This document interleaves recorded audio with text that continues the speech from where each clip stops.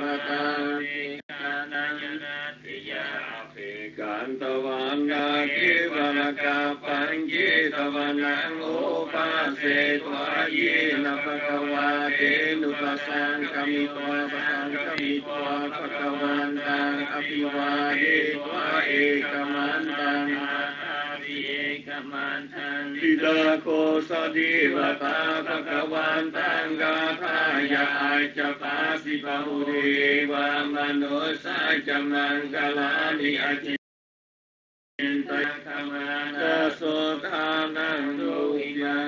มุธรรมังเสวนาจะปาลานังบานดิอานัยจะเสวนาจุจาจะปูจนิยานังเอตังมังกลมุธรรมังปฏิรูปดิสวาโสจะปุเพจะกตบุญญาตาอาทัสสัมมาปณิทิเจตังมังกลมุธรรมัง Bahu sa chanh cha siêu phạn cha vi na yo cha su se ki to su pha si ta cha ya wa cha e ka ma ca la mo ta ma ma ta bi tu ma ta na นะกุลจะกรรมันตาเอตัมมังกลโมตมังดาในจะธรรมจริยาจญาตกาลัยจะสังกโหนวาจาริกรรมานิเอตังมังกลโมตังารติวิรติภาปามาจปาลาย ะสังยังโวอาปมาดุจะธรรมเมสุเอตังมังกลมุ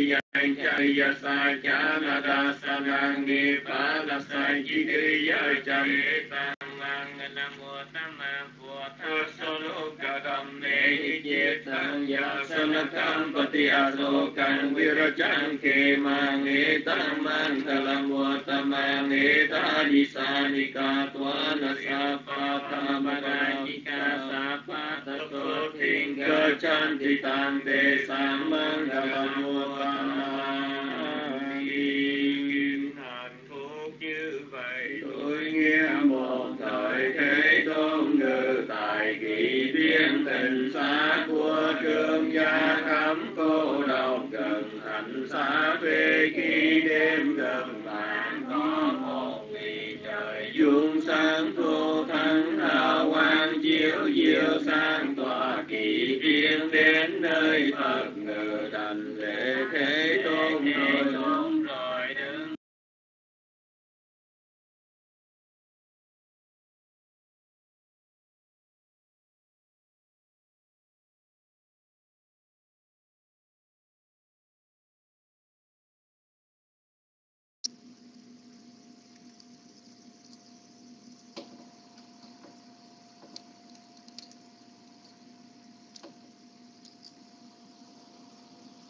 Nam mô Bút Tha Chá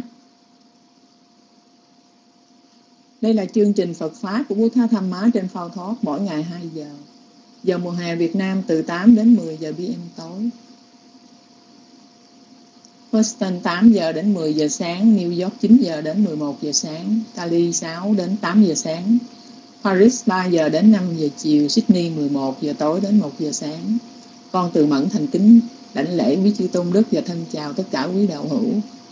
Hôm nay thứ Bảy ngày 9 tháng 5 năm 2020, Phật lịch 2564, đề tài hôm nay giáo trình Trung Bộ Kinh Machima Nikaya, Hòa Thượng Thích Minh Châu dịch Việt. Tiếp tục bài 114, 118, Kinh nhập tức xuất tức kinh quán niệm hơi thở. Anabanasati Sutta 1077 đến 1081 sẽ do Thượng tọa giác đẳng Điền Hợp. Để mở đầu chương trình, xin tất cả chúng ta trang nghiêm tam nghiệp đảnh lễ tam bảo. Chúng con kính cung thỉnh Thượng tọa Minh Hạnh đọc kinh lễ bái tam bảo và Nam Mô Bút Thà Giác.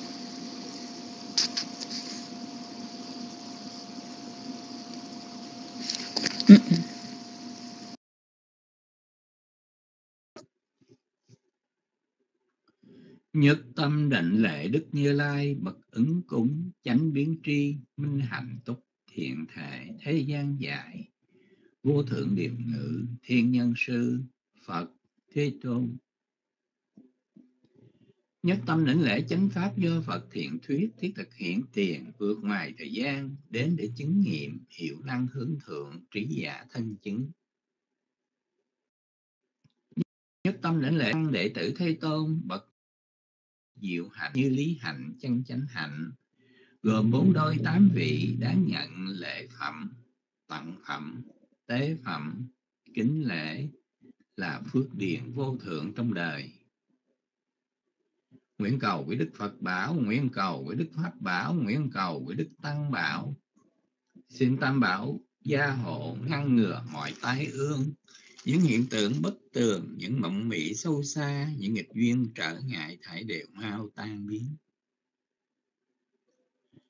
Nguyện muôn loài chúng sanh, người khổ xin hết khổ, người sợ hết sợ hãi, người sầu hết sầu, bi. Biết cho với niềm tin, biết hỗ trì giới hạnh, biết lạc tru trong thiền.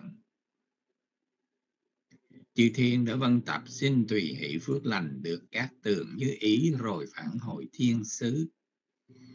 Chư toàn giác đại lực, chư độc giác đại lực, thinh văn giác đại lực, nguyện tổng trì uy đức, cầu phúc lành phát sanh.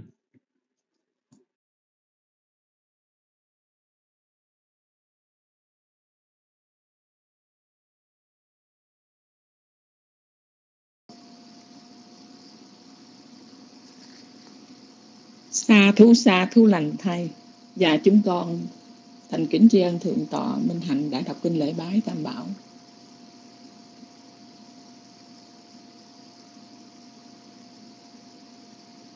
Bài học hôm nay giáo trình trung bộ kinh Majjhima Nikaya Hòa Thượng Thích Minh Châu dịch diệt.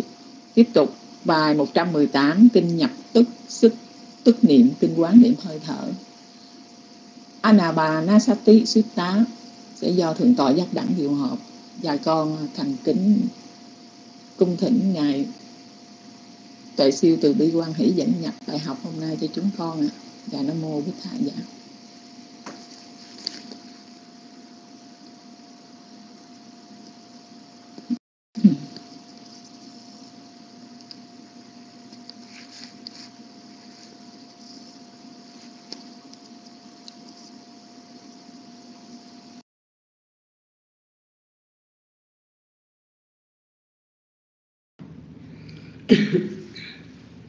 anh nam mô bổn thầy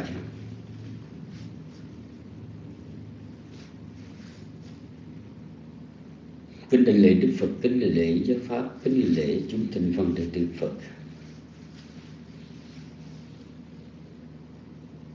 Kính bạch chư tùng đức, kính thưa quý vị. Tùng nữ quý vị tự trong hai ngày qua. Kể từ ngày thứ năm từ tòa nhật đẳng đi khuyết cho thượng tọa pháp đăng để giảng giải cái bài kinh nhập tức, xúc tức điện. Rồi ngày à, thứ thứ năm á, là cái ngày đặc biệt lễ Phật đản ngày thứ sáu thượng tọa à, tiếp tục đảm trách cái cái bài này cho liên đới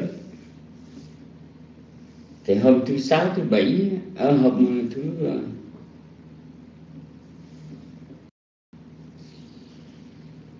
trong những cái ngày mà thuyết giảng này thì chúng tôi do vì công việc có nhiều chúng tôi bị mệt bị bệnh chúng tôi không có vào room để thảo luận với chư tăng. Như không có được nghe trực tiếp chỉ được biết là phân đoạn.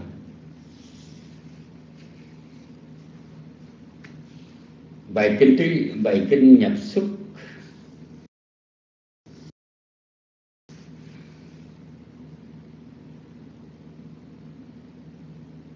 Mà Đức Phật ngài thuyết, có cái sự phân đoạn rõ ràng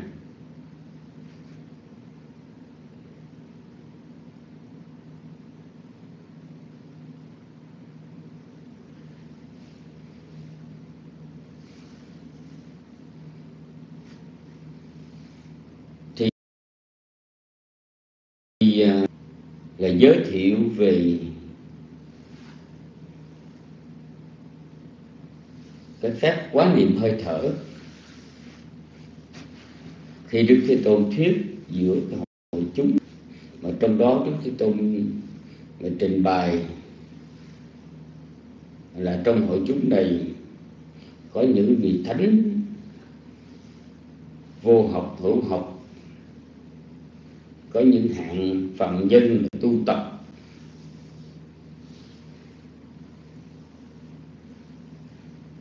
Ba mươi bảy bộ đề phần, vân vân.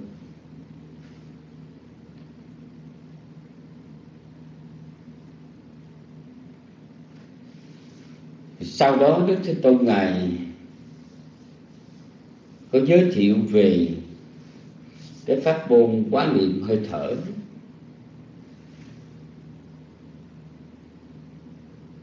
Rồi ngày nói đến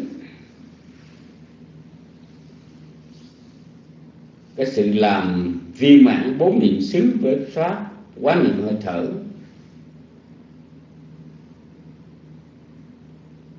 Làm viên mãn bảy giác chi với quán niệm hơi thở.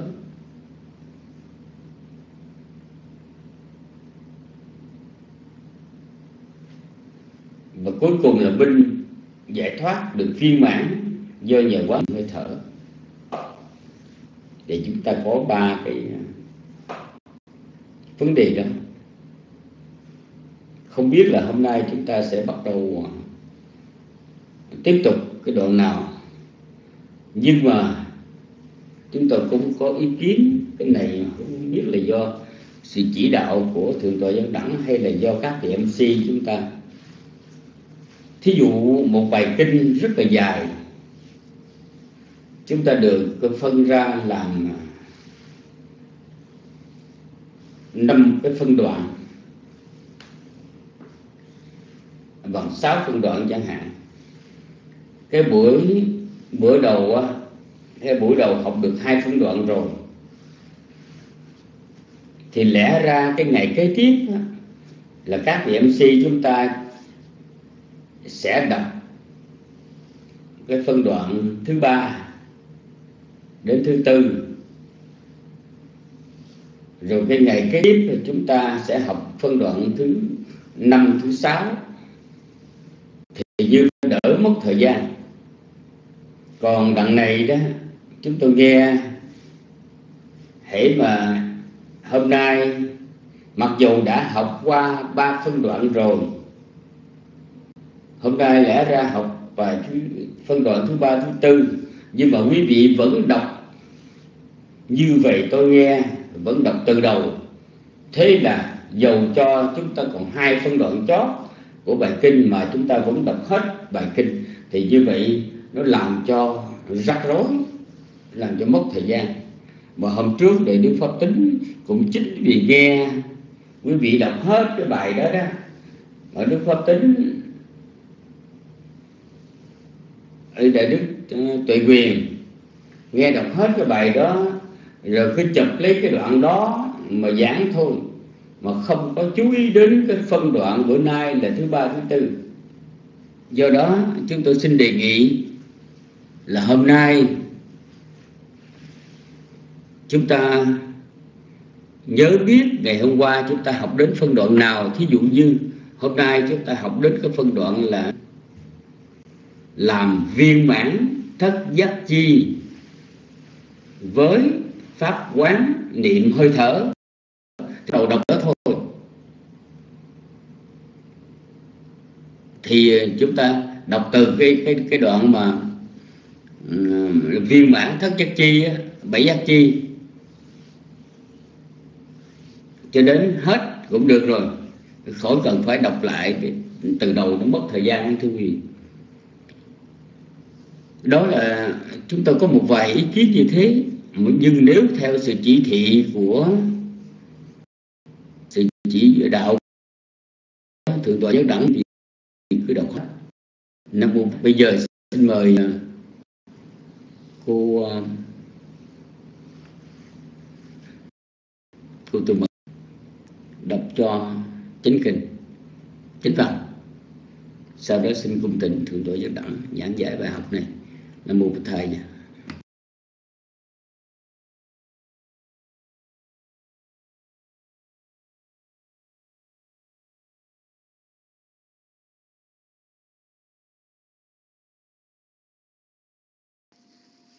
Dạ Nam Mô Bút Tha Giá. Chúng con thành kính tri ân Ngài Thượng tọa Tệ Siêu Đã giảng nhập bài học. Dạ hôm nay con tiếp tục đọc bài học.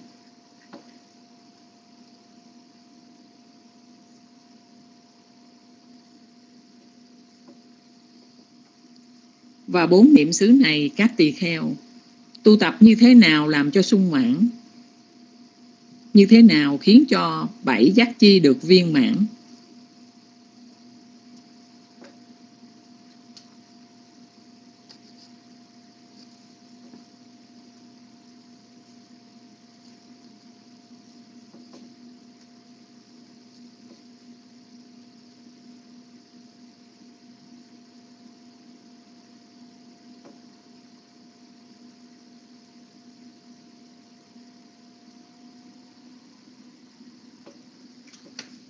Ở đây này các tỳ kheo.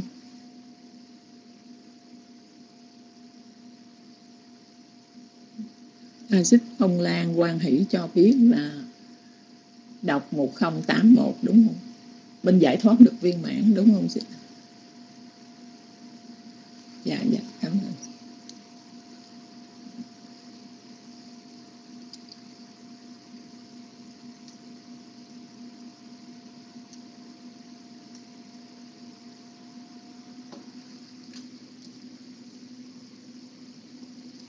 1080 làm viên mãn bảy giác chi với pháp thở và bốn niệm xứ này.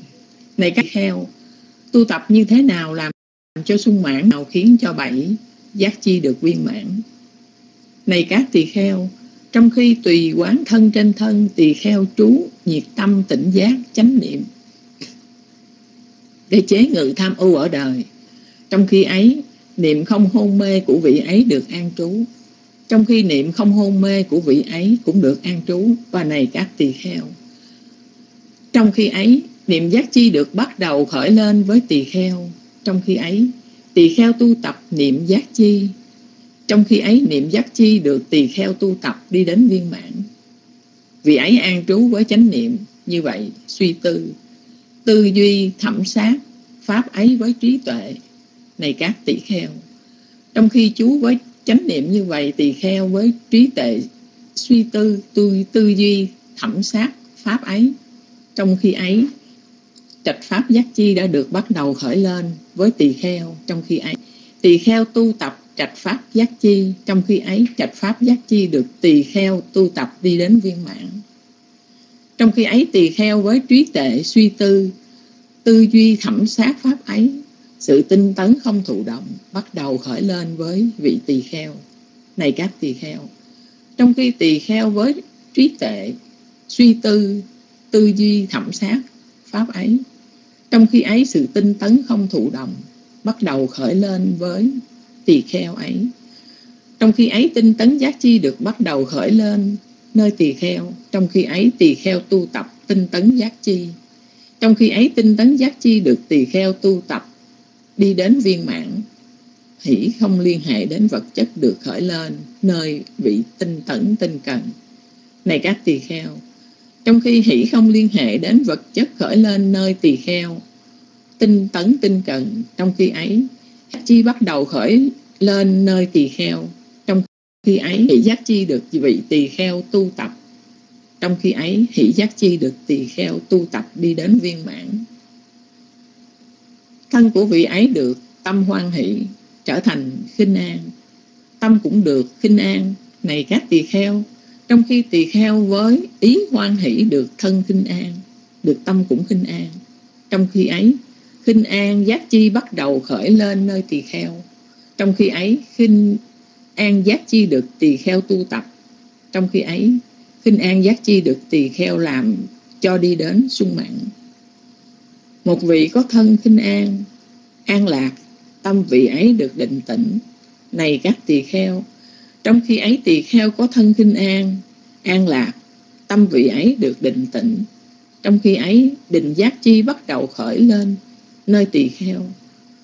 Trong khi ấy, định giác chi được tỳ kheo tu tập, trong khi ấy, định giác chi được tỳ kheo làm cho đi đến sung mãn. Vì ấy với tâm định tĩnh như vậy, khéo nhìn sự vật với ý niệm xả ly.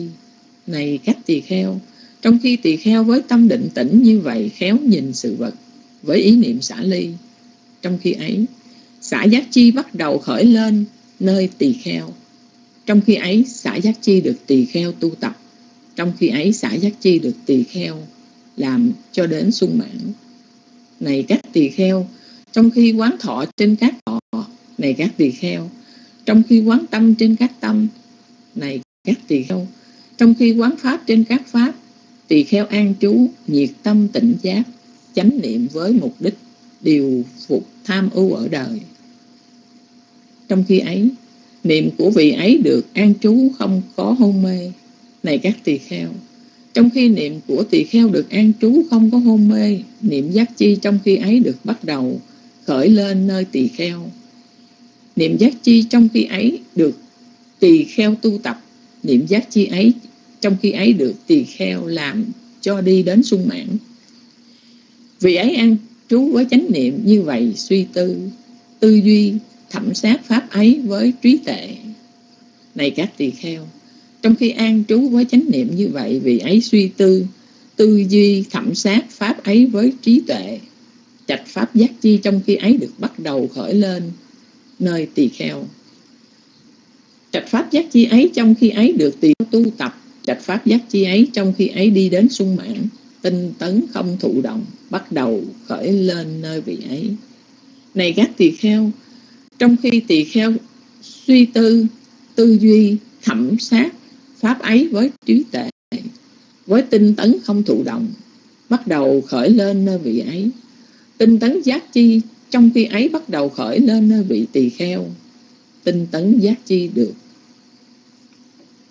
tỳ kheo tu tập, tinh tấn giác chi được tỳ kheo làm cho đi đến sung mạng đối với vị ấy, tinh cần tinh tấn hỷ không liên hệ đến vật chất khởi lên. Này các tỳ kheo, trong khi tỳ kheo tinh cần tinh tấn và hỷ không liên hệ đến vật chất khởi lên, hỷ giác chi trong khi ấy bắt đầu được khởi lên nơi tỳ kheo. Hỷ giác chi ấy, trong khi ấy được tỳ kheo tu tập hỷ giác chi trong khi ấy được tỳ kheo làm cho đến sung mãn. Thân của vị ấy được tâm hoan hỷ trở thành khinh an. Tâm cũng được khinh an này các tỳ kheo. Trong khi tỳ kheo với ý hoan hỷ được, được thân khinh được tâm cũng khinh an. Trong khi ấy khinh an giác chi bắt đầu khởi lên nơi tỳ kheo. Trong khi ấy khinh an giác chi được tỳ kheo tu tập trong khi ấy khinh an giác chi được làm cho đi đến sung mạng. một vị có tâm khinh an an lạc, tâm vị ấy được định tĩnh, này các tỳ kheo. Trong khi ấy vị ấy có thân khinh an an lạc, tâm vị ấy được định tĩnh, trong khi ấy định giác chi bắt đầu khởi lên nơi tỳ kheo. Trong khi ấy định giác chi được tỳ kheo tu tập, trong khi ấy định giác chi được tỳ kheo làm cho đi đến sung mãn. Vị ấy với tâm định tĩnh như vậy, khéo nhìn sự vật với ý niệm xả ly. Này các tỳ kheo, trong khi tỳ kheo với tâm định tĩnh như vậy, khéo nhìn sự vật với ý niệm xả ly, trong khi ấy xả giác chi bắt đầu khởi lên nơi tỳ kheo, trong khi ấy xả giác chi được tỳ kheo tu tập, trong khi ấy xả giác chi được tỳ kheo làm cho đi đến sung mãn. Này các tỳ kheo bốn niệm xứ tu tập như thế nào làm cho sung mãn, như thế nào khiến cho mình giải thoát được viên mãn? Ở đây, này các tỳ kheo tỳ kheo tu tập niệm giác chi liên hệ đến viễn ly, liên hệ đến ly tham, liên hệ đến diệt, hướng đến xả ly, tu tập trạch pháp giác chi, tu tập tinh tấn giác chi, hỷ giác chi, tu tập khinh an giác chi, tu tập định giác chi, tu tập xả giác chi liên hệ đến viễn ly, liên hệ đến ly tham, liên hệ đến diệt hướng đến xả ly. Này các tỳ kheo, bảy giác chi được tu tập như vậy, được làm cho sung mãn như vậy khiến cho minh giải thoát được viên mãn. Thế tôn thuyết giảng như vậy, các tỳ kheo ấy hoan hỷ, tính thọ lời thế tôn dạy. Dịch giả hòa thượng thích minh châu và nam mô bố tha giá con thành kính tri ân quý sư và quý đạo tràng và xích phong lan. Con đã đọc xong bài chánh kinh hôm nay. Và con kính ờ, cung thịnh ngài thượng tọa giác đẳng từ bi quan hệ giảng dạy cho chúng con bài học hôm nay nam mô bổn thầy.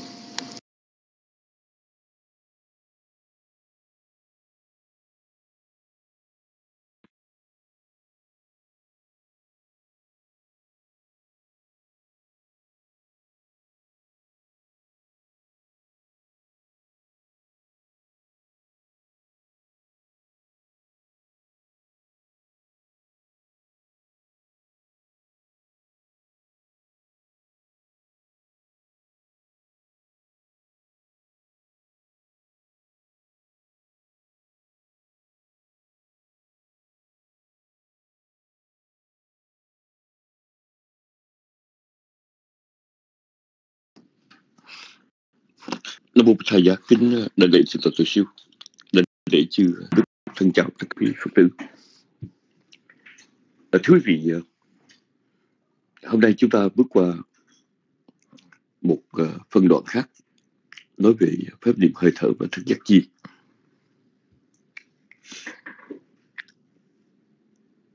Thức giác chi chính nhất uh, trong phản ngữ gọi là pochanga tức là bảy chi phần của tuệ giác. Điều này thứ nhất là chúng ta nên hiểu đó là một cái công thức để tuệ giác được thắp sáng. Thông thường ờ, nhiều người nghĩ rằng đối với ờ, trí tuệ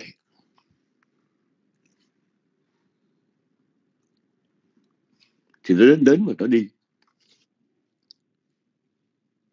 Đa phần là do sự hên xui.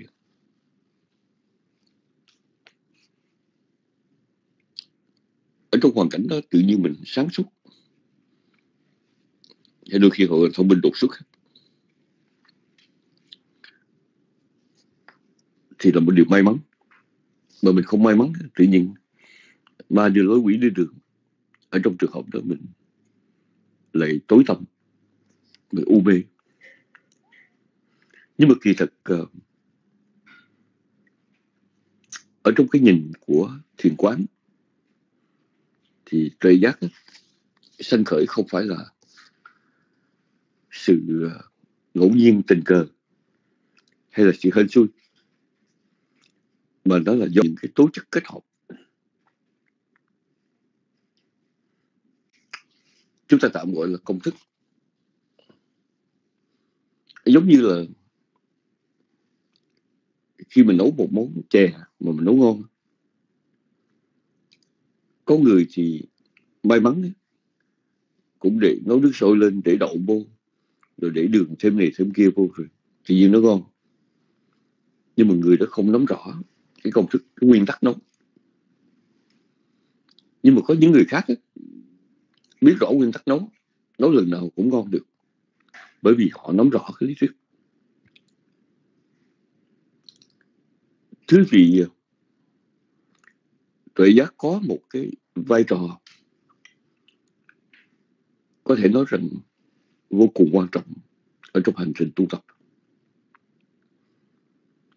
Nhưng mà tuệ giác đối với một giả, tức là một người thành thiên được. Không phải là một sự may rủi, mà là do sự kết hợp của nhiều yếu tố.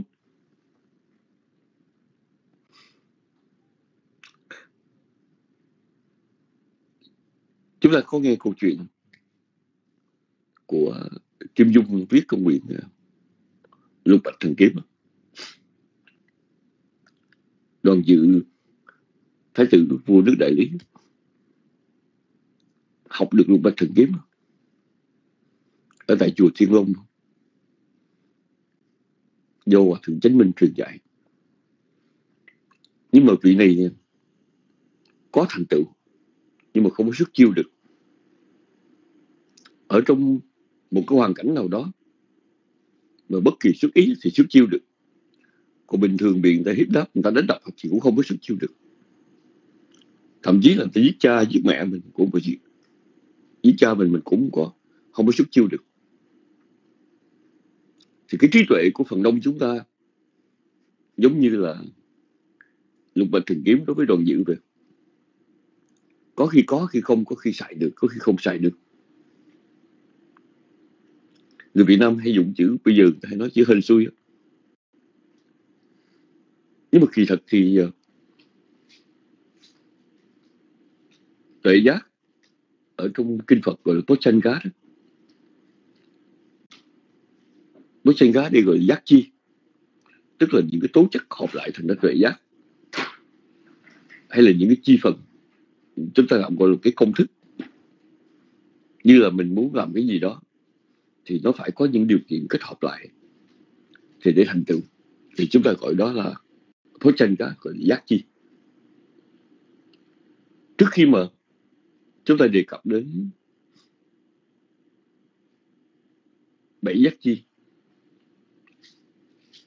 Đối với ở trong sự liên hệ đối với pháp niệm hơi thở thì chúng ta nên định nghĩa giác chi là gì? À, bảy giác chi đó là gì? Đầu tiên là niệm giác chi.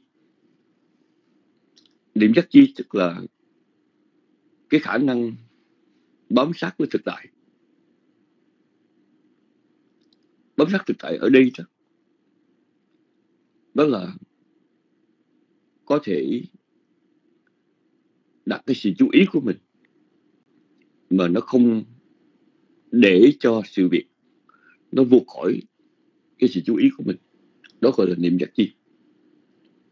Một cái thí dụ đơn giản là nếu quý vị tình cờ có ai gửi giữ dùm cho một đứa con nhỏ. Khi một đứa nhỏ nó ở trong nhà mình mà mình không để ý thì nó có thể cầm những cái vật lạ nó bỏ vào miệng nó nuốt. Nít nó hay bị cái đó. Hoặc giả là nó có thể kéo những đồ đạc ở trên kệ rớt xuống, làm cho nó bị thương hay là làm bể hỏng đồ đạc của chúng ta.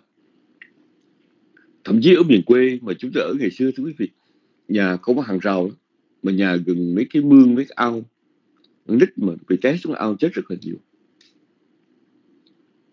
Thì như vậy, nhiệm những đứa nhỏ đó, bận thì bận, làm gì thì làm, nhưng mà luôn luôn để tâm theo dõi đứa nhỏ. Nó đang làm gì? Và sớm khám phá kịp thời là cái gì bình an, cái gì nguy hiểm xảy ra đến cho nó. Nói thì rất là đơn giản nhưng mà để có một cái khả năng chú ý thường xuyên mà gọi là niệm á, niệm giác chi gọi là chánh niệm đó, thì chuyện đó nó không đơn giản. Thứ nhất là chúng ta không có thói quen. Theo dõi cách liên tục. Và thứ hai nữa là chúng ta thường bị chi phối bởi những ý nghĩ vẩn vơ.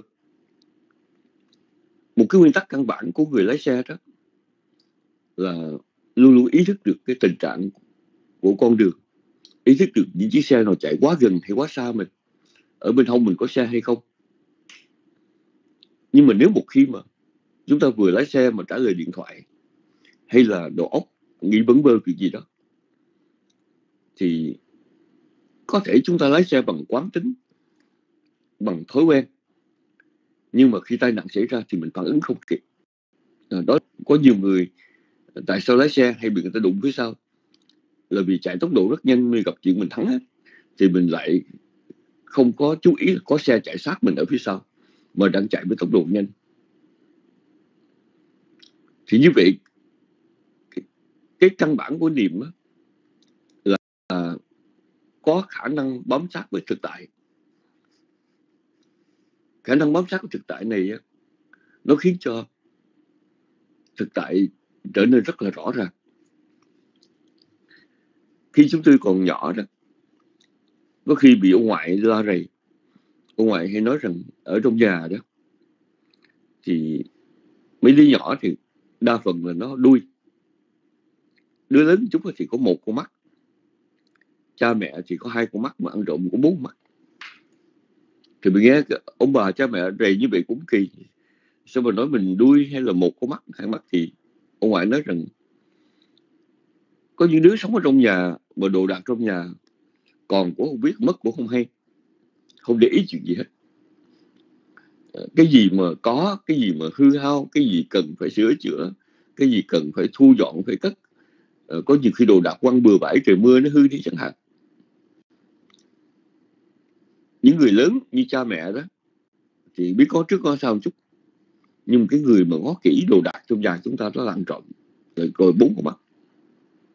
Thì cái ví dụ tương tự như rằng chúng ta thường sống nhưng mà không có cái nhận biết một cách rõ ràng về những gì đang xảy ra ở đây và bây giờ. Mình làm á, mình để cái vật gì ở chỗ nào đó thì mình quên. Mình chìa khóa mình không biết để đâu, để lúc mình để xuống mình không có để tâm vào trong chỗ đó. Và nhiều lúc mình nói một câu chuyện mà mình lạc đề, mình cũng biết mình đang nói cái gì. Nên nói giữa chừng là quên đi hay hoặc giả mình sống mà mình bận tâm quá nhiều về những gì thuộc về quá khứ. Mình trong sống hiện tại thì mình không có, mình không có một cái rõ nét bị gì đang xảy ra. Vì vậy à, chữ sát tí mà chúng ta thì là chánh niệm tiên là cái khả năng bén nhạy, bám sát với thực tại bây giờ và từ cái yếu tố của chánh niệm đó, niệm giác chi đó, chúng ta có lâu ngày mới trở nên tinh tế mình đạt đến một cái trạng thái thứ hai gọi là trạch pháp giác chi. Trạch pháp giác chi nghĩa là sự tinh tế phân biệt. Sự tinh tế phân biệt ở đây nó không đơn thuần là người ta chỉ cho mình mà nó là một kinh nghiệm thực tế. Chúng tôi lấy một ví dụ là một người không biết uống trà. Mà đưa cho họ trà thiết quan âm hay là trà ô long hay là trà bành thành. Nhiều khi trà nào cũng, đối với họ cũng là cái vị trà thôi, rồi bị đắng đắng nhốt nhau nhưng mà với một người tinh tế thì nó có sự khác biệt. Sự khác biệt giữa điều này và điều gì kia giữa cái thiệt và cái giả đó đôi khi nó nằm ở trong đường tơ cả tóc thôi. Có những người họ có khả năng phân biệt tiền giả với tiền thật. Họ phân biệt món ngon với món dở. Chúng tôi nhớ uh, hồi trước có một lần đi ngoài chợ đang đứng uh, ở trước một cái một cái hàng họ bán siêu vô. Tức là cái loại mỹ cốc để ăn sáng đó thưa quý vị. Thì đứng có tới ngôi luôn không biết chọn cái nào. Thì có một bà người mỹ lớn tuổi đi ngang. Bà thấy như vậy, bà chỉ và nói, cái này ăn được rất ăn ngon. Thì thưa quý vị ờ, nghe bà chỉ thì mình mình thấy cũng vui mình cảm ơn bà và lấy ngay cái hộp đó để xe mang về. Khi mang về thì cũng hí hửng nói với chư tăng ở trong chùa, pháp vân là hồi nãy có một tỷ liên an, bà tử tế và đứng là bà chỉ. Cái hộp này nó ăn được. Nhưng mà khi mà buổi sáng hôm sau khui ra ăn sáng thì các vị ở trong chùa đó thì ra họ nói về chứ cái nào nó cũng giống nhau hết. Đã ăn hai, ba thứ cái nào cũng giống nhau. Thì chúng tôi quả thật lúc đó thì chúng tôi thấy cũng có khác gì biệt gì với những loại cereal mình thường ăn. Nhưng mà sau này ở Mỹ Lô này ngày thứ vị có những thứ mình ăn thậm chí oatmeal á uh, hai ba hiệu khác nhau nhưng mà có hiệu này là khác hiệu kia. Mình phải ăn nhiều mới phân biệt được. Thì cái trạch pháp chỉ trạch pháp căn bản nó là một sự phân định một cái sự lựa chọn một cái thái độ rõ ràng. Giữa cái này cái kia nó khác biệt và mình có sự lựa chọn thì trạch pháp ấy, nói cho trong cái ngôn ngữ bình thường của mình đó sự tinh tế. Dạ, tinh tế. Như là một người uống trà nhiều họ có thể phân biệt trà ngon trà dở. Họ uống rượu vang nhiều họ sẽ phân biệt rượu vang ngon và rượu vang dở. Cái sự phân biệt đó cái sự tinh tế đó đó nó không có đơn thuần qua ngôn ngữ mà được mà nó là một cái sự tinh tế đến từ chánh niệm. Không có chánh niệm người đó không phân biệt được cái đó thật ra, cái trạch pháp là nó dựa trên sự, gọi là trạch pháp giác chi, dựa trên niệm giác chi. Và sau cái trạch pháp giác chi đó, thì nó dẫn cái yếu tố gọi là cần giác chi. Cần giác chi ở đây đó là một cái sự dứt khoát. Dạ thái độ dứt khoát. Chỉ cần thật ra nó là sự tinh tấn. Nhưng mà sự tinh tấn trong đạo Phật đó được đề cập đến là một cái thái độ rõ ràng. Cái chỉ cần Phật giáo đó, nó không phải là sự cố gắng đơn thuần. Ví dụ như là bây giờ mình cần đẩy chiếc xe, mình muốn đẩy chiếc xe mình phải ráng sức lên. Cái ráng định định nghĩa sự tinh tấn cái cần không phải. Chỉ cần trong Phật giáo định nghĩa như vậy, nó có bốn yếu tố là thận, trừ, tu và bảo. Thận là cố gắng ngăn ngừa cái gì có hại, trừ là đoạn diệt cái gì có hại tu là gìn giữ cái gì có lợi lạc. Và bảo à, xin lỗi tu là cái gì lợi lạc mà chưa có làm cho nó có. Và bảo là cái gì lợi lạc mà nó có rồi thì gìn giữ. Thì như vậy bốn chữ thận trừ tu bảo đó nó là một cái thái độ rõ ràng. Phân biệt cái lợi lạc và cái không lợi lạc cái có hại và cái không có hại. Nói rõ hơn là cái thiện và cái bất thiện nhưng mà trong cái bất thiện đó, thì có cái thái độ là ngăn ngừa và tiêu trừ. Trong cái thiện thì cũng có cái gìn giữ và làm cho sanh khởi. Dạ. đối với thiện thì cái chưa sanh khởi, làm cho sanh khởi, cái sanh khởi rồi rồi thì là nó nó được tồn tại. Thì như vậy, cái chữ cần, đó là một thái độ dứt khoát. Chúng tôi lấy một ví dụ như vậy là nếu chúng ta có một cái vật tầm thường hay là chúng ta không có phân biệt vật đó vật tầm thường hay vật quý đó, thì nó nằm ở một góc nhà hay nó nằm ở ngoài hè chúng ta không quan tâm tới. Nhưng một khi mà chúng ta đủ cái sự hiểu biết rằng à, đó là một cái một cái con dao rất là quý một cái bông rất là quý mà mình thấy con cháu cha ai quan ở ngoài hè đó không cái này không thể để chỗ này được mình phải đâm cất đi. Tại vì đó là vật quý để nó lỡ người ta thấy hình họ đem làm việc này kia như thế nào. Thì thứ gì cái thái độ dứt khoát là phải đem cất nó đi. Rồi cái thái độ ở trong đạo Phật gọi là cần. Tức là chúng ta biết khẩn trương với cái gì cần khẩn trương. Hay hoặc giả là một người mà không có biết gìn giữ đồ ăn đó, thấy có một cái uh, tô thức ăn để bên ngoài từ lúc mà còn ăn được cho đến lúc hư á, thì người đó không có không có để ý không phân biệt được. Nhưng với một người mà đủ sự hiểu biết rồi biết rằng cũng cái tô đồ ăn đó mà mình không, đem không cất vô tủ lạnh đó thì ngày mai này mình ăn nó sẽ bị đau bụng nó sẽ bị hư. Và cái tô đồ ăn đó thật ra mà nếu mình phải chuẩn bị tốn rất là nhiều công tại sao mình không đem mình cất tủ lạnh để ngày mai mình ăn được? Hơn là mình để rồi nó hư nó phí bỏ uổng đi cái đó, thái độ dứt khoát đó, gọi là cần giác chi. Thì cái cần giác chi đó, nó được sản sinh ra từ cái trạch pháp giác chi. Trạch pháp là cái khả năng tinh tế phân biệt. Mà khi khả năng tinh tế phân biệt rồi, thì một người sẽ dẫn đến một cái thái độ là dứt khoát làm cái gì cần làm và tránh cái gì cần tránh.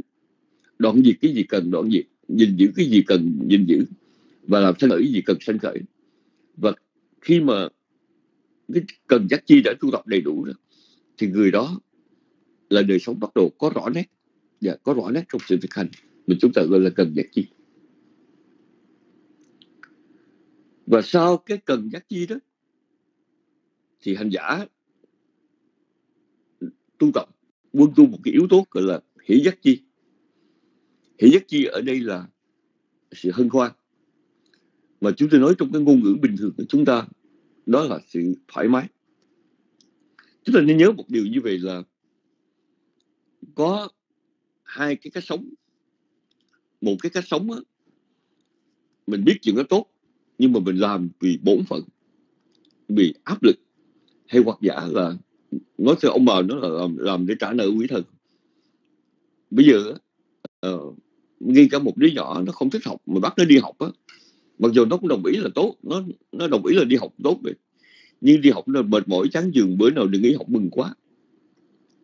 Có những người mà đối với cái việc hành thiền chẳng hạn, họ cảm thấy là miễn cưỡng. Thì khi họ làm không có chẳng cái gì vui vui vẻ với việc đó hết.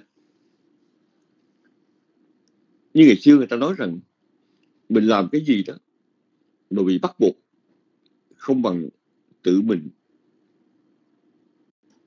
muốn làm mình tự mình muốn làm nó không bằng.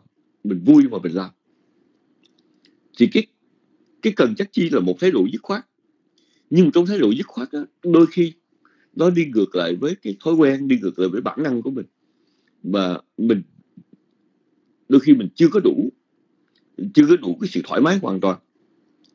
Nhưng mà hiểu giác chi ở đây đó là một tâm trạng là rất ư là thoải mái làm một cách rất là hân hoan ờ, làm mà không có ờ, nặng nề. Chúng tôi ờ, thưa như vậy là ở chùa Pháp Luân cách bờ biển khoảng một tiếng đồng hồ.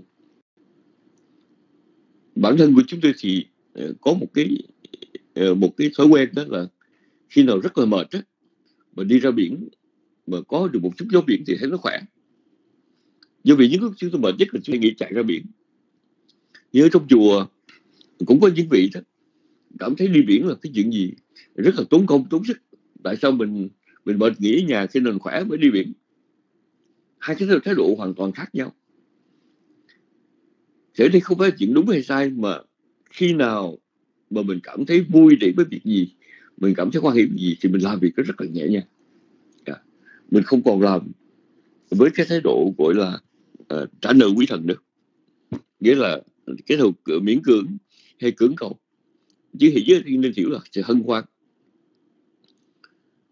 Và mình làm việc đó một cách thoải mái. Và lúc đó đó là một cái bước mà chúng ta thực sự là ừ, thể chập mình thực sự là cảm thấy rằng mình sống với cái đó. Và điều đó đối với mình nó lại uh, gần như là uh, một người một người đồng hành một cách thân thiết mà mình không còn cảm thấy phải gượng gạo phải khó chịu nữa. Ờ, đối với cái cái sự thực hành gọi là hỷ giác chi.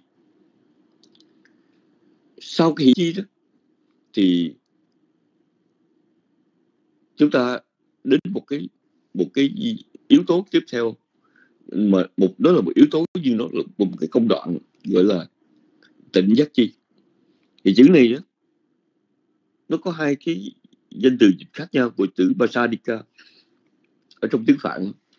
Có chỗ chúng ta dịch là khinh an giác chi cái chỗ gọi là tịnh giác chi chỉ tịnh đó có nghĩa là cái cái sự lắng động không còn có những cái tế toái không còn có những cái phiền hà mà ở đó chúng ta tạo gọi là mình có thể sống trọn vẹn.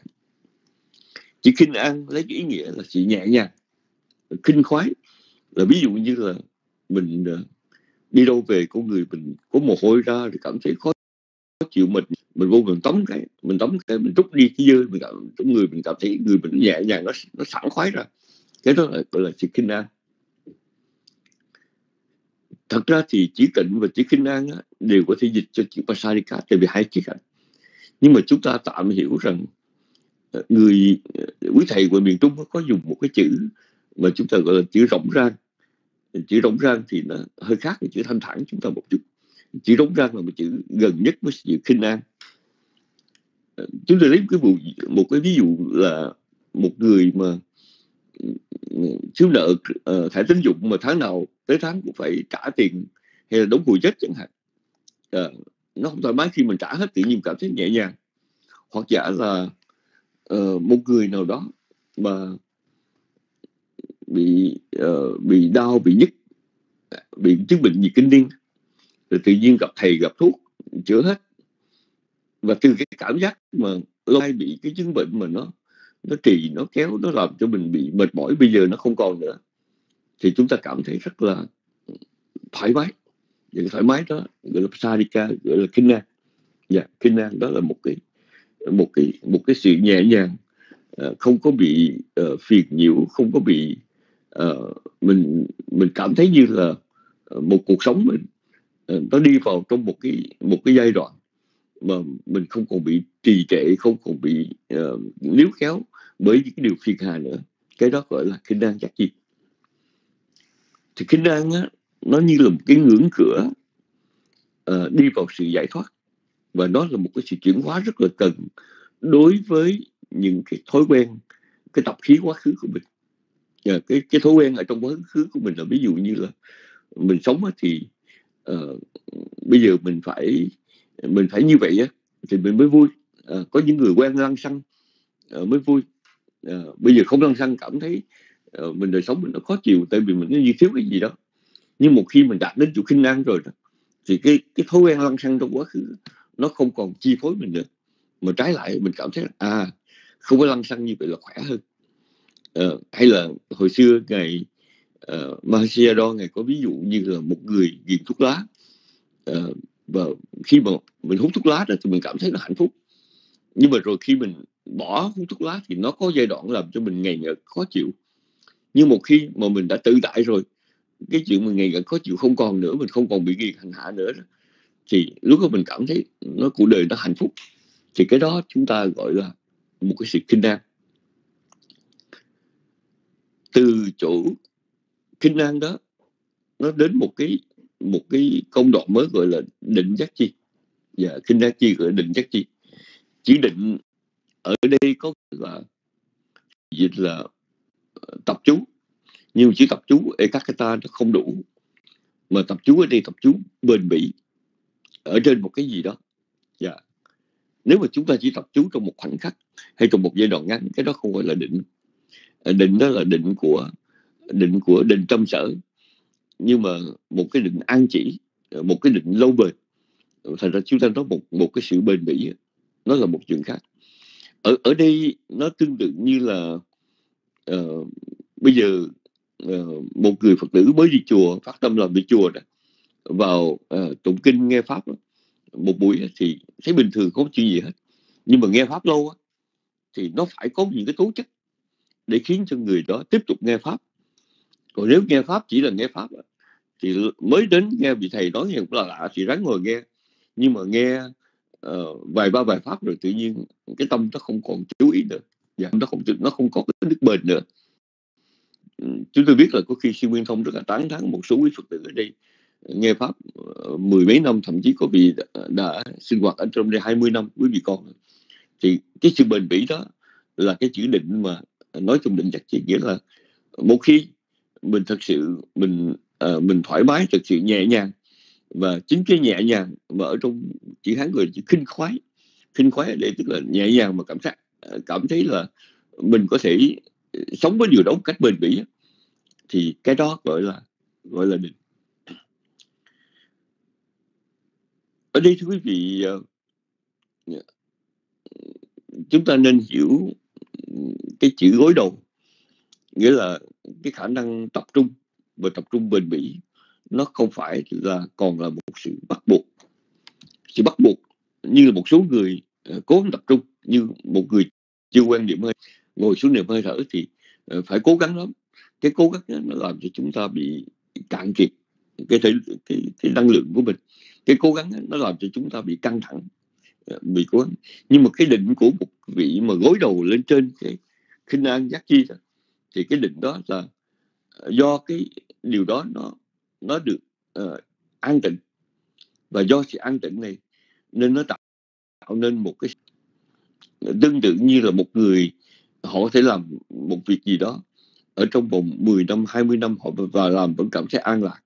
Tại vì họ thấy ở đó có một cái chất liệu mà chất liệu khiến cho họ hạnh phúc và cái hạnh phúc đó nó khiến cho họ có thể ờ, tiếp tục đi tới một cách bền bỉ. Chúng ta nhớ như vậy, bảy pháp giác chi này nó không có một giác chi nào là chủ đạo, mà tất cả đều là những thành tố. Thành tố tức là những yếu tố kết hợp lại, nhưng mà nó mang tính tương tự. Thì cái định giác chi ở đây nó phải phải là cái gối đầu ở trên cái cái gọi là kinh an giác chi. Và sau cái định giác chi đó thì chúng ta nói đến cái xã giác chi. Chỉ xã đây là chữ uh, rất là dễ hiểu lầm. Một ở trong những cái từ vựng Phật học á, mà hay hiểu sai đó là chữ chỉ xã có nhiều thứ chỉ xã đó nghĩa là không khổ không lạc thì xã chỉ xã thứ chúng ta gọi là thản nhiên. Yeah. Ví dụ như uh, bây giờ uh, nếu chúng ta có chuyện gì phiền lụy thì chúng ta khổ chúng ta bực bội. Mà có chuyện gì hào hứng vui vẻ thì chúng ta gọi là hỷ uh, ờ, gọi là lạc. Mà không có khổ không có lạc thì là xã cái xã nó thuộc về cảm thọ. Đi xã chúng ta không không nói tại đây. Chỉ xã khác nghĩa là buông xả. Và buông bỏ ra thì chỉ xã nó cũng không phải là chỉ xã tại đây. Cái chỉ xã trong xã giác chi ở đây đó nó được hiểu là một cái một cái khả năng quân bình. Nói cách khác đó là sự an nhiên là một sự điềm đạm. Và sự an nhiên điềm đạm này là do cái sự vững chãi mà ra chứ không phải là do sự buồn nản mà ra. Khi nào mà chúng ta làm một việc gì đó, đó chúng ta thường đặt vấn đề là mình làm việc đó phải hào hứng mà khi không có hào hứng thì chúng ta rơi vào trong tình trạng lãnh đạo cái sự lãnh đạo đó không phải là xã tại đây. Xã tại đây là một cái thái độ có khả năng làm việc gì đó, mà làm một cách rất đẹp, là một cách rất là chính xác, rất là chuẩn xác. Nhưng mà làm không còn vì cái sự sôi động, cái sự kích động của hào hứng nữa, cái đó gọi là xã có rất nhiều cái ví dụ về chữ tại đây là ở trong trong sứ giải á, thì định nghĩa xã giống như một người uh, đánh xe sông mã mà hai con ngựa kéo xe. Cái kéo người đánh xe nó làm sao? Hai con ngựa song hành không con nào trước không con nào sau. Thì nếu có một con mà chạy trước thì nó sẽ là mất quân bình đi giống như mình lái xe mà xe nó không ở lại mình vậy đó. Yeah. thì xã là cái khả năng quân bình. Hay hoặc giả là một người hát xiệt á một người hát sĩ khi họ đi trên sợi dây thì họ hiểu rằng cái cái chuyện mà bước từ đầu dây này qua đầu dây kia nó rất cần một cái sự quân bình.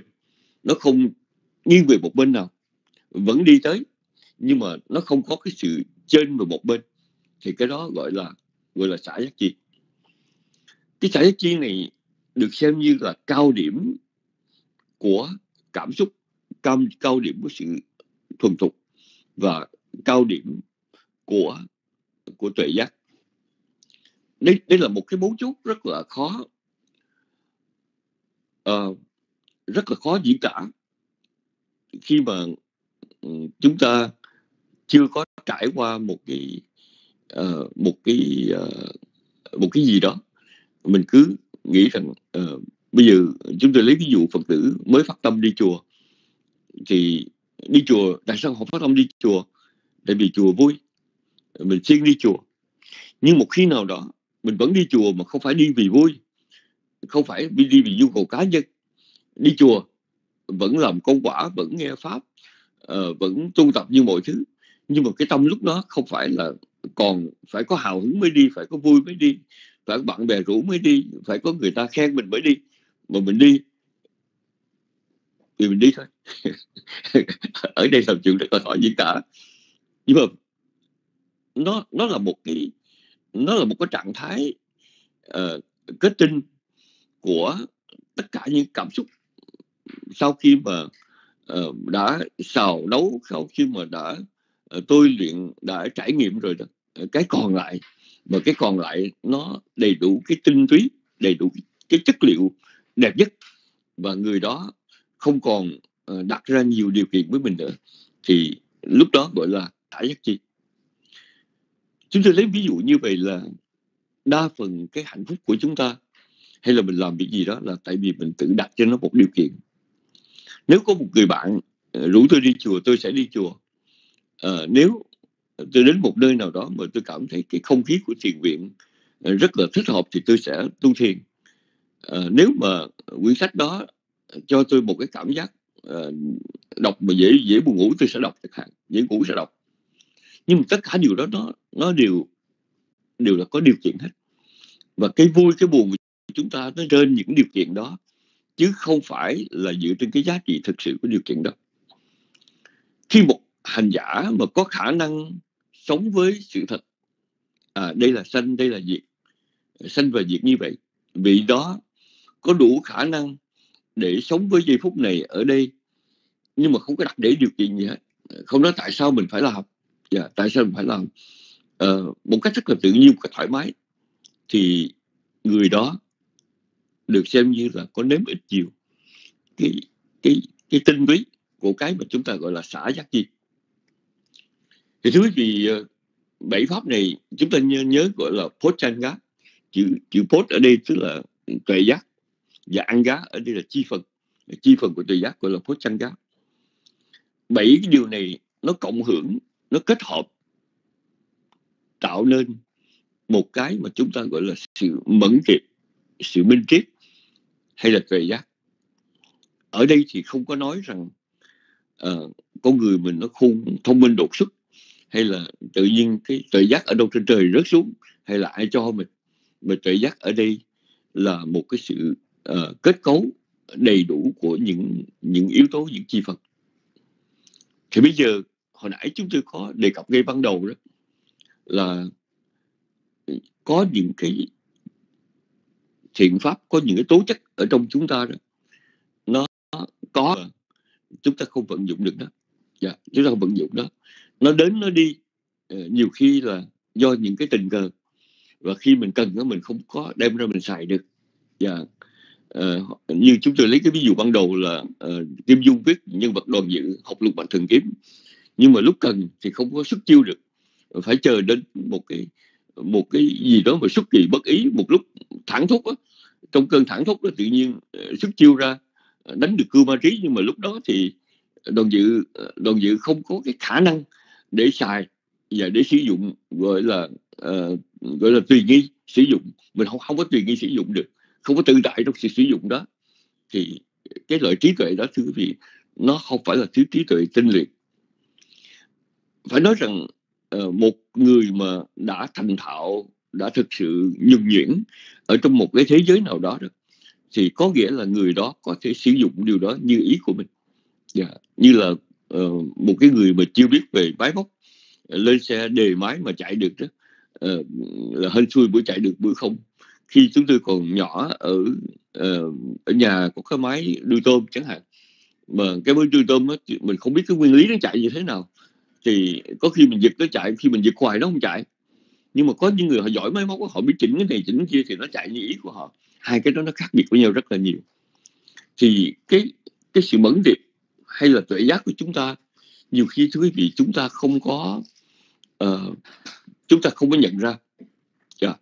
Chúng ta không nhận ra uh, đi, là là tại sao ở trong trường hợp nào mình sử dụng được và trường hợp nào mình sử dụng không được bây giờ chúng tôi muốn trở lại đề cập đến một cái phương diện khác đó là ờ, là áp dụng thức chất chi vào trong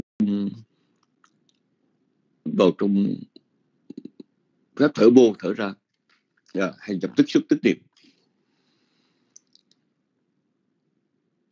Nếu chúng ta thấy rất rõ đó, thì uh, bảy giác chi khởi đầu với niệm giác chi. Niệm giác chi là khả năng uh, bám sát với thực tại và hơi thở đó là một thực tại nhiệm màu. Tại sao hơi thở thực tại nhiệm màu? Bởi vì hơi thở lúc nào cũng có. Hãy mình hướng lập là hơi thở có đi. Và hơi thở có hai nhịp điệu ra và vào. Nó không quá đa đoan bởi vì nó có nhiều bên nhiều mối mà nó cũng không quá mũi lực tại vì nó có hai cái tiết tấu là thở ra và thở vào. Thì th ờ, mình nói một cách là đối với phần đông chúng ta đó, thì hơi thở đó là một cái đối tượng đối tượng tiện lợi nhất, tốt nhất, luôn luôn có, sẵn có và rõ rõ nét nhất để mình nuôi dưỡng chánh niệm cái cái đối lập của chánh niệm ở đây đó là sự lơ đễnh lơ là một cái sự lãng quên mà chúng ta không có đem tâm trở về hiện tại. Sống ở đây nhưng mà tâm mà nghĩ đâu đâu thì cái niệm giác chi là đầu tiên cho phép chúng ta nó giúp cho chúng ta uh, trở về với thực tại hơn sống bám sát với thực tại hơn cảm nhận cái thực tại hơn. Và cái thực tại đó nó nó giản dị uh, chỉ có thở ra và thở vào yeah, rất là giản dị. Và đó là đó là một sự gì tốt nhất. Mình bắt đầu nên bắt đầu gì đơn giản. Tại sao có nhiều người không niệm hơi thở được? Tại vì khi họ ngồi xuống họ niệm đó là họ tự làm khó mình họ đặt cho mình rất là nhiều điều kiện. Là mình phải có một cái trường thiền ờ, lý tưởng một vị thiền sư lý tưởng một cái thiền thất lý tưởng một cái tọa cụ lý tưởng một cái bộ áo ngồi thiền lý tưởng tất cả mọi điều đó. Khi mà người chẳng những người ta đặt nhiều cái điều kiện ở bên ngoài. Mà ngay cả cái cách bắt đầu của chúng ta nó cũng trở nên hết sức là rối rắm. Dạ, niệm kiểu này niệm kiểu kia. Uh, có nhiều khi chúng ta nghe những sự tranh luận ờ, niệm về phòng xẹp theo ngày ha si niệm về hơi thở uh, theo kiểu nghề uh, úc chẳng hạn niệm cái này kia người, người ta có nhiều nhiều cái uh, cái chuyện tranh luận khác nhau. Nhưng mà thật sự đầu tiên là chánh niệm bắt đầu rất là giản dị là làm sao? Biết rõ. Mình đang thở vô biết rõ đang thở ra thở vô thở ra. Và từ cái chỗ thở vô, vô thở ra đó, dần dà nó có một cái sự tinh tế đó, thì mình nhận ra được. Thở vô dài ngắn thở vô dài hay ngắn thở ra dài hay ngắn. Sau cái dài ngắn đó thì chúng ta mới đi đến một chỗ là mình có thể cảm giác toàn thân khi thở vô cảm giác toàn khi thở ra. An tịnh thân hành an tịnh tâm hành vân vân như là chúng tôi đã nói trong uh, những ngày trước về pháp niệm hơi thở. Bây giờ thì do chúng ta cứ niệm và niệm thì từ cái chánh niệm đó nó sẽ tự nó nó sản sinh ra một thứ là sự tinh tế. Nó sản sinh ra sự tinh tế. Sự tinh tế này giúp cho hành giả vận dụng được hơi thở hai chiều chính tôi nó hai chiều ở đây là như vậy. Là bình thường đó là hơi thở bị tác động bởi tâm yeah. Dạ, lúc cái tâm mình sợ hãi mình thở khác. Khi mình đang ham muốn thở khác khi mình bực dọc mình thở khác. Thì như vậy đó là ban đầu chúng ta chỉ ghi nhận cái hơi thở nó ảnh hưởng lại cái nó bị, nó chịu ảnh hưởng, nó bị ảnh hưởng, nó bị tác động bởi tâm. Nhưng mà rồi, một lúc khi mà chúng ta đạt đến chỗ tinh đế của trạch pháp giác chi từ bước vào cần giác chi đó, thì chúng ta lại có khả năng dùng hơi thở để chế ngự lại tâm. Yeah. Bây giờ, lúc bây giờ nó không còn là một chiều nữa, mà nó là hai chiều. Hai chiều ở đây là thế nào? Lúc đó hành giả tự biết mình thở như thế nào? Mà để cái tâm sân nó ngồi xuống thở như thế nào để cái sự sợ hãi nó nó ngồi xuống. Và cái này rất là khó ai chỉ cho chúng ta. Nhưng mà uh, chúng ta biết gọi là chuyển bại thành sạm thắng hay là chúng ta nói theo, uh, theo binh pháp gọi là uh, đổi cái thế cờ thay vì để cho cái tâm nó chi phối hơi thở cái phiền não chi phối hơi thở. Mà bây giờ chúng ta biết dùng cái uh, chúng chúng ta là cái thế cờ lại tức là là chúng ta dùng hơi thở để áp đảo. Cái đó chúng ta gọi là cần giác chi. Dạ, yeah, cần giác chi. Chúng ta nhớ cái sự khác biệt giữa một người không có niệm hơi thở và người niệm hơi thở đó. Là cái người không có niệm hơi thở khi họ gặp phiền não đó thì họ vận dụng trí tuệ họ vận dụng sự suy nghĩ họ vận dụng luân lý vận đạo đức vận vận dụng sự hiểu biết để áp đảo và không áp đảo được ngài trên cha ngài nói, mà chúng tôi có đề cập ngày hôm qua đó là ngài nói rằng, nếu chúng ta có thể ra lệnh cho mình, đừng tham nữa, đừng sân nữa, thì mình đã thành phật rồi. Hành giả biết rằng mình không thể nào ra lệnh cho chính mình.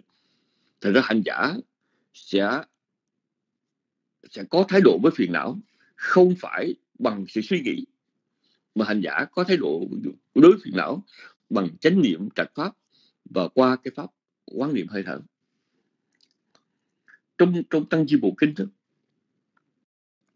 Đức Phật ngài có đưa ra một cái thí dụ về về con chim cái. À, con chim cái là cái tiếng của miền Bắc ở trong miền Nam thì là con chim một con chim chim ri hay chim cút một loại chim cút thì thứ gì à, trong thiên nhiên nó có sự kiện như vậy là con chim cái nó nhỏ và nó hay bị uh, nó hay bị cái con chim ưng á, vồ lấy nó. Yeah. Bởi có con chim cái nó có cái đặc tính đó, là khi mà người ta cày ruộng á thì những cái côn trùng ở dưới ruộng nó nó nó nó bị lộ diện thì nó chạy ở trên những cái luống cài. Và con chim cái nhân dịp đó nó ra nó hay chạy rồi nó bắt những cái côn trùng khi mà người ta mới cày ruộng ăn. Quý vị nào mà đi đâu quý vị thấy rằng những lúc người ta đào xới lên những miếng đất trống thì có một, một số các con chim nó bay xuống nhiều lắm để nó ăn những côn trùng thì con chim cái cũng vậy. Nhưng một con chim cái nó lại là một cái món mồi ngon của chim ưng. Chim ưng từ trên cao mà mà thấy con chim cái thì nó nó nó xà xuống nó chụp con chim cái để mà nó nó ăn. Đó là cái cảnh tượng mà chúng ta thường thấy. Thì đức phật ngài giải rằng cái con chim cái nó khôn ngoan á nó không bao giờ chạy ra chỗ đồng trống mà nó luôn luôn là mượn cái thế những cái lúng cài. Dạ. khi con chim ưng xa xuống đó, thì nó nó chạy vào núp vào những lúng cài. Do đó nó không có bị con chim ưng à, à, vô lấy à, bắt ăn đó. Thì ngài gọi cái chuyện một con chim cái núp trong những luống cài đó là con chim giống như một hành giả biết trú ẩn ở cái vùng đất của tổ phụ biết cái trú ẩn ở trong bản địa của mình biết trú ẩn trong trong căn cứ địa của mình. Gọi là vùng đất của, của tổ phụ là gì? Có nghĩa là một nơi mà chúng ta quen thuộc địa hình địa vật và một nơi mà mình có thể uh, có thể chống cự có thể đương đầu lại. Giống như con chim cái nó nhỏ bé nó không có móng vuốt và nó không nhanh nhẹn như là con chim ưng. Nhưng mà khi mà nó biết lợi dụng những lúng cài để che chắn thì đó là một nơi an toàn thì khi hành giả đã có một cái sự thuần thục, quen thuộc với hơi thở, quen thuộc và có đủ cái trạch pháp giác chi đủ sự tinh tế, thì khi phiền não xảy ra thì hành giả có thể sử dụng hơi thở là một cái bản địa. Sử dụng hơi thở là vùng đất của tổ phụ. Sử dụng hơi thở đó là một cái căn cứ địa mà mình quen thuộc địa hình về địa vật để mình có khả năng đương đầu với phiền não người ta nói mạnh dùng chứ uh, sức thì yếu dùng mưu. Ở trong trường hợp mà chúng ta không có khả năng để đối phó phiền não không thể ra lệnh cho phiền não và không thể đánh tay đôi phiền não thì chúng ta phải mượn cái cái cái địa hình và cái địa hình thích hợp để mà ẩn náu. Thì ở đây thưa quý vị cái địa hình thích hợp đó là hơi thở. Một lần nữa hơi thở mình bám trụ. Nếu mình đủ cái sự thuần thục đủ cái sự quen thuộc với hơi thở rồi thì mình sẽ không có bị dao động nhiều. Mình sẽ đủ cái để câu thời gian để chúng ta vượt qua những cái hiểm nạn khó khăn do cái phiền não uh, nó tạo ra cho mình. Thì cái đó gọi là ờ, uh, cần giác chi. Uh, chúng ta nhớ cần ở đây là một thái độ rất là dứt khoát. Và ngay khi hành giả mà có được những cái khả năng để đương đầu để né tránh cái sự chi phối bên ngoài dựa trên hơi thở rồi.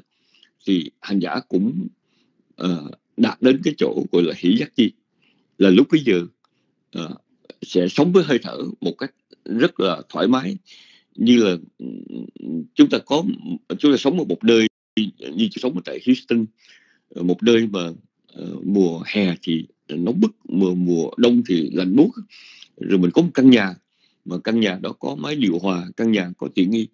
Thì tự nhiên căn nhà đó là một nơi an ổn của mình. Thì nghĩ đến căn nhà mình cảm thấy à mình có thể hân hoan. À, khi mưa to gió lớn khi mà trời nóng trời lạnh có che chắn được. Thì lúc đó hành giả cũng phải có thái độ rất là khoan hỷ đối với hơi thở. Dạ, đối với hơi thở của mình. Và thoải mái. Không có xem cái chuyện mà mình sống với hơi thở là một điều miễn cưỡng. À, không xem đó là một cuộc hôn nhân cưỡng cầu mà xem đó là một cái sự kết hợp. Và sự kết hợp đó khiến cho hành giả đủ cái cái lực để tiếp tục đi tới cái đó gọi là hỷ giác chi. Và tỉnh giác chi đó dạ, tỉnh giác chi ở đây uh, đối với hơi thở của hành giả đó, là lúc bây giờ uh, khi mà mình mình ngồi xuống ờ, tập trung vào mình cảm nhận được cái sự rỗng rang sự không có phiền toái. Uh, chúng tôi nhớ rằng uh, uh, ngày xưa uh, ông ngoại chúng tôi có một cái câu chuyện là ừ, ở trong ở nhà có một miếng đất ở xa và trong miếng đất xa thì ông ngoại cất một căn tròi và dạ, thì đôi khi sống ở trong nhà nó có những cái chuyện phiền não của vợ con hay là hàng xóm như này việc kia. Thì ông ngoại thường uh, lấy một ít trà một ít nước bỏ cuốn theo và đi vào trong tròi ra giữa đồng uh, trống mênh mông uh, với uh, đồng ruộng với một căn tròi bộ ngoại kể là lúc đó sống uh, thấy cuộc đời rất là uh, thảnh thơi. Thì hồi nhỏ chúng tôi không hiểu sự thảnh thơi của một người sống một căn tròi nghĩ rất là buồn. Nhưng mà lúc đó thưa quý vị cái đó là một cảm giác của một người không còn bị chi phối bị bị ràng buộc bị nhiều cái hệ lụy nữa. Thì hành giả cũng sẽ đạt đến cái mức độ như vậy và nên nhớ rằng cái tịnh giác chi hay kinh an giác chi này nó là một cái một cái nền cho cái tuệ giác sanh khởi. Và nó là cái nền để cho xả giác chi sanh khởi à, cho định giác chi sanh khởi và xả giác chi sanh khởi.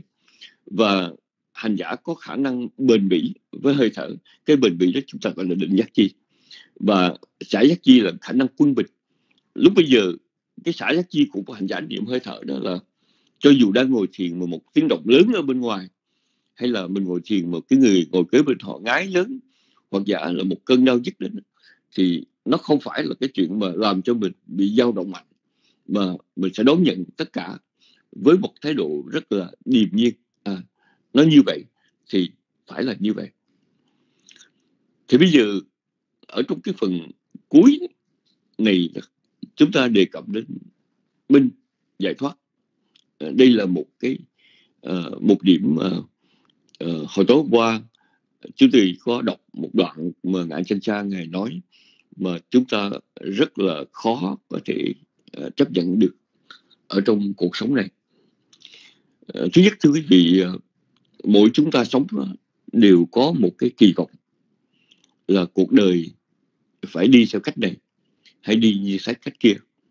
Và nếu chúng ta để ý thật nhiều thật rõ rồi thì đa phần những đòi hỏi của chúng ta nó đi ngược lại với tự nhiên. Và ví dụ như là uh, mình đòi hỏi cái đó nó luôn luôn là như vậy nhưng mà rồi nó thay đổi chúng ta khổ. Mình đòi hỏi nó phải uh, trời uh, phải uh, trời quang mây tạnh uh, mát mẻ đẹp đẽ nhưng mà rồi trời mưa bão chúng ta khổ. Uh, chúng ta nghĩ rằng uh, mình đi ra ngoài mỗi người phải thân thiện tử tế nhưng người ta không trần tử tế mình khổ thì chúng ta nhớ rằng cuộc sống của mỗi người đó là luôn sống với kỳ vọng. Nhưng mà, cái cái minh triết của đời sống, cái gọi là sự sáng suốt thật sự đó, là Đức Phật dạy rằng nếu nó vô thường mình chấp nhận nó vô thường. Nó rỗng không mình biết nó rỗng không. Nó vô ngã mình biết nó vô ngã. Thì cái đó là một cuộc sống à, một cuộc sống minh triết.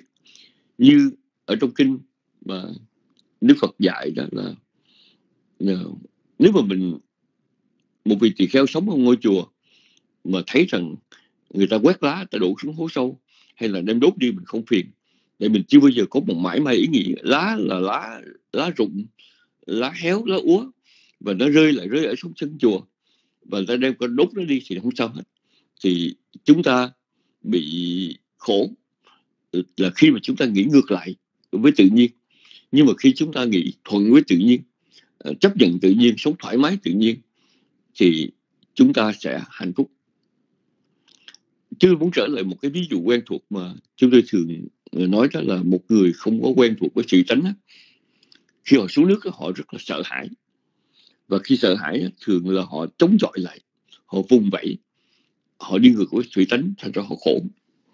Nhưng một người mà đã có một cái sự quen thuộc với sự tránh rồi quen thuộc với nước rồi đó thì uh, đối với họ sống sống biển lên nó chỉ là một điều ừ, tự nhiên thôi. Và biển thì có sống và nước dâng lên thì mình lên nước xuống thì mình xuống. Và cái lên cái xuống tự nhiên đó nó làm cho người ta ờ, cảm thấy dạ, an lạc cảm thấy nhẹ nhàng.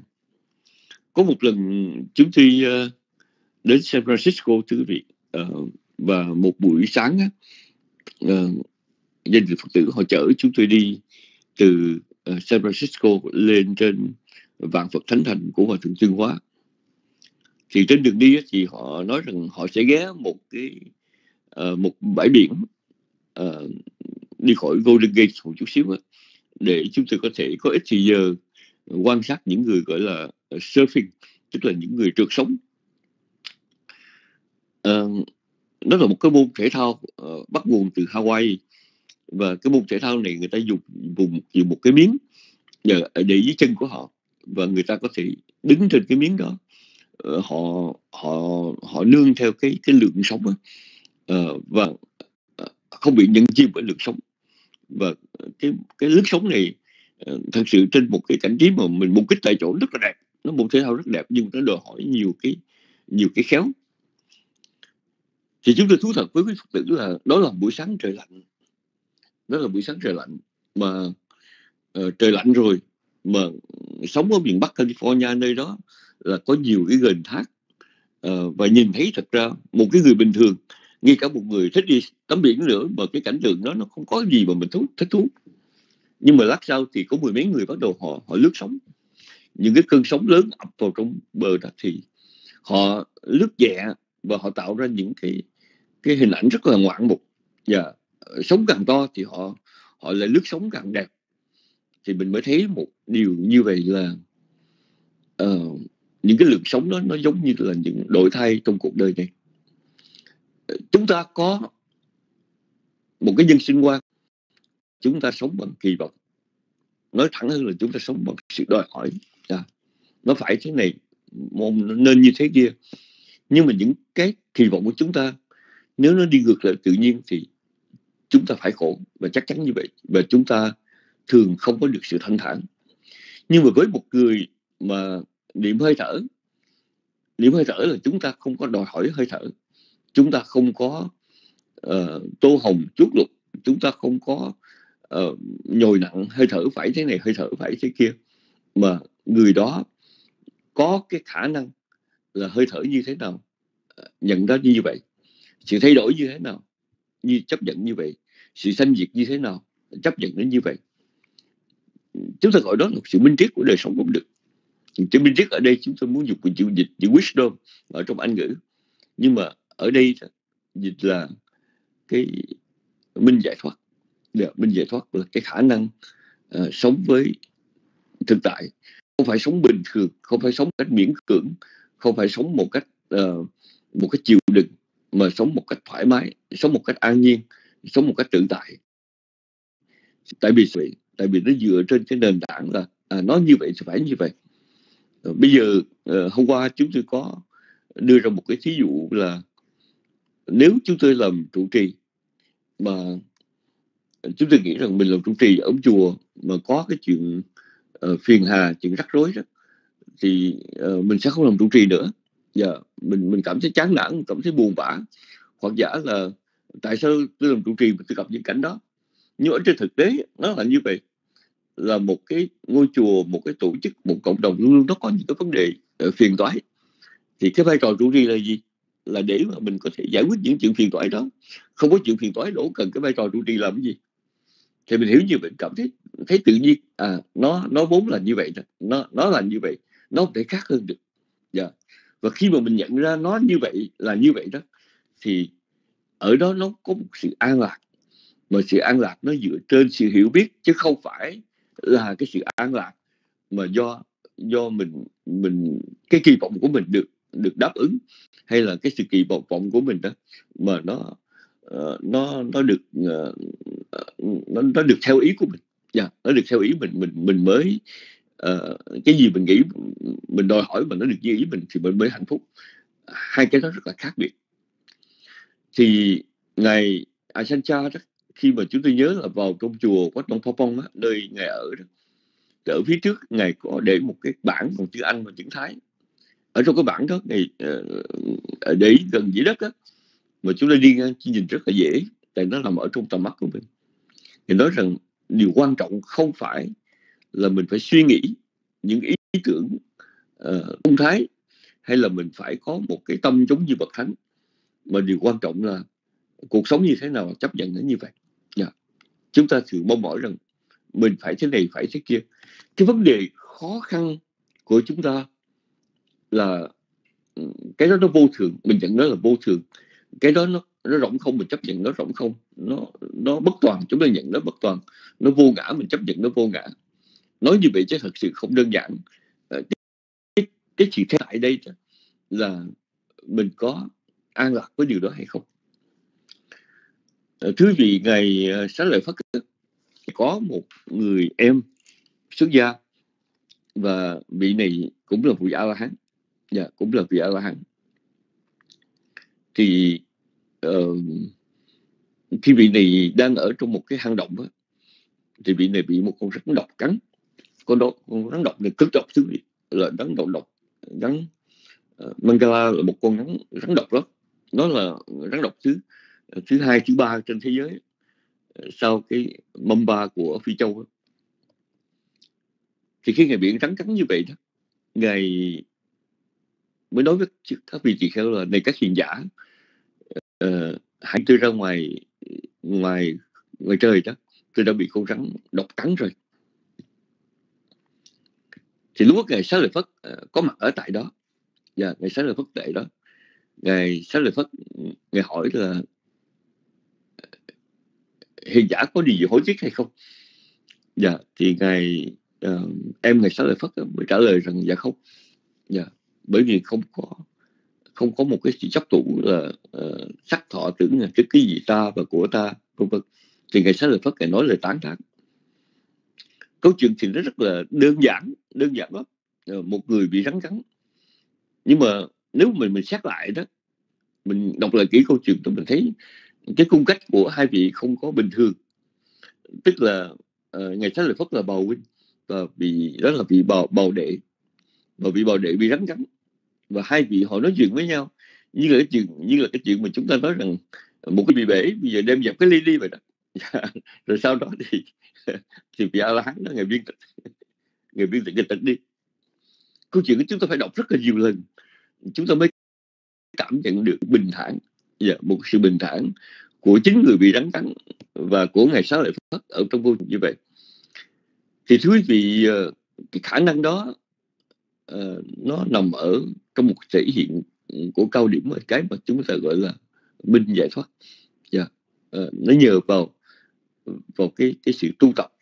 Đối với hơi thở hệ hơi thở như thế nào thì nhận nó như vậy. Khi mà chúng tôi ở với ngài tăng vô lưu ờ, ngài là vị thầy truyền giới của chúng tôi đó thì ngài có một cái ví dụ cũng mà chúng tôi nghĩ rằng rất là lợi lạc và chúng tôi muốn nhắc lại ở tại đây ờ, như là một cái uh, một cái câu kết bài học về uh, nhập tức xuất tích niệm ngài nói rằng nó có một cái cái một cái sự một cái sự liên quan một cái sự liên hệ giữa cái thái độ của chúng ta đối với hơi thở và đối với những người thân xung quanh mình. Một người mà vào niệm hơi thở đó mà người đó nghĩ rằng phải có một cái lợi gì mình mới niệm hơi thở thì nó giống như là một trường hợp mà một người đi giao thiệp với ai quen biết của ai luôn luôn nghĩ rằng mình phải có cái lợi gì ở người đó mình mới mình mới uh, mình mới uh, mình mới chơi với người đó mà mình cảm thấy mình không có lợi thì mình làm ngơ, mình không có, mình không có thái độ thân thiện. Và ngài cũng nói một điều rằng, một cái người mà có thể nhìn vào hơi thở một cách tự nhiên, thì người đó sẽ có một thái độ đối một sự một cách tự nhiên với những người bạn của mình. Người ta ra sao thì mình chấp nhận nó như vậy. Yeah. chứ không phải là mình mình thân với một người nào đó tại vì người đó họ làm cái gì vừa lòng mình, hay là người đó phải giống như mình, hay người phải thế này thế kia mà người đó ra sao mình mình thương như vậy cái đó là một thái độ giống như hơi thở. À, chúng ta không có đòi hỏi hơi thở phải dài hơi thở phải ngắn hơi thở phải thế này thế kia. Và người nói rằng cái thái độ mà rất là uh, điềm đạm thái độ rất là an nhiên thái độ không có uh, không có nhồi nặng không có đòi hỏi của chúng ta đối với hơi thở thì nó cũng là một thái độ rất là ung dung với chúng ta trong cuộc sống hàng ngày thì um, câu nói của ngài thì ngài chỉ nói rằng ở trong cái sự thế thôi và liên quan đến hơi thở. Nhưng mà chúng ta cũng có thể hiểu thêm là nếu một người niệm hơi thở lâu thì người đó có được những cái lợi lạc. Những lợi lạc đó là vị đó uh, sẽ tưởng cái khả năng bám sát với thực tế mà chúng ta gọi là niệm giác chi vì đó có khả năng tinh tế hơn đối với thực tế gọi là trạch pháp giác chi.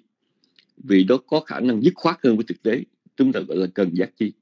Vì đó có khả năng sống thoải mái hơn, hân hoan hơn với thực tế, chúng ta gọi là hỷ giác chi. Vì đó có khả năng sống ít bị lôi kéo, ít bị dao động hơn, gọi là kinh an giác chi. Vì đó có khả năng sống bền bỉ với thực tại hơn, gọi là định giác chi. Vì đó sống với một khả năng an nhiên hơn với thực tại, chúng ta gọi là xả giác chi. Nhưng mà trên hết, sau hết là sự thật như thế nào? Chấp nhận như vậy. Không đòi hỏi quá hơn không đòi hỏi ít hơn và không đòi hỏi ngược lại với thực tại thì cái đó gọi là mình giải thoát. Thì thưa quý vị đó là vài điều mà chúng tôi chia sẻ trong phần uh, nhập tức sức sớm thức niệm uh, bài kinh được Đức Phật giảng về hơi thở ra vào hôm nay. Và chúng tôi xin thưa rằng những điều này đó chúng ta không thể uh, nói qua cái lý thuyết mà uh, nó đó là một cái kinh nghiệm mà mỗi chúng ta khi thực hành chúng ta mới cảm nhận được thật cũng giống như uh, nếu mà mình uh, mình diễn tả một cái con đường đi đâu đó yeah, như đây qua Vancouver là một thành phố đẹp mà mình nói cái đẹp thì không ai thì người ta thấy nghe đẹp nhưng mà của mình cũng có thể cảm nhận cái đẹp đó đâu. Khi Đức Phật dạy chúng ta về những điều này thì ngài dạy trong một cái ngôn ngữ uh, uh, rất là cô động và uh, chính xác mà ngài có thể nói được nhưng mà mỗi chúng ta phải đi và chúng ta mới uh, có thể uh, cảm nhận được điều này ở trong một cái uh, một cái ý nghĩa chân xác nhất mà chúng ta uh, có thể tìm được lời lạc từ lời dạy của Đức Phật. Bây giờ thì uh, chúng tôi kết thúc bài nói chuyện về uh, kinh nhập thức sức đức niệm ở tại đây và do vậy uh, Bạch thượng tọa từ siêu thượng tọa có mặt ở trước máy không?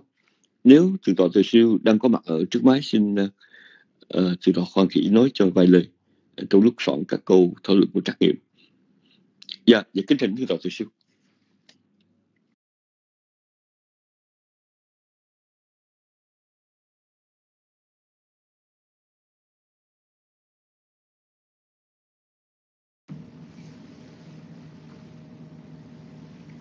Nam mô Bụt Thầy. Dạ. Kính bạch Thiên Tùng Đức kính thưa quý Phật tử. Chúng ta vừa nghe từ tổ giác đẳng giảng à, tiếp về kinh nhập xuất tức niệm.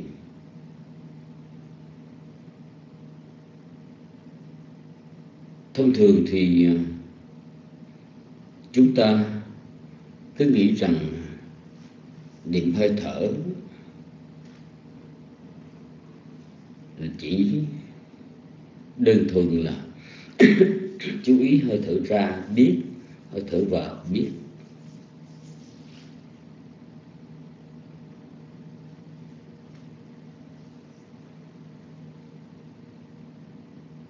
Như mà đức phật ngài dành ra, một thời gian của một một thời lượng của một bài kinh để ngài giảng về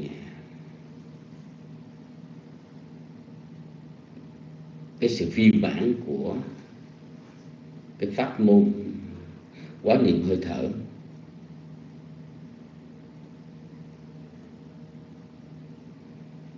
Và từ đó cho thấy rằng là chúng ta vẫn chưa tu tập được một cách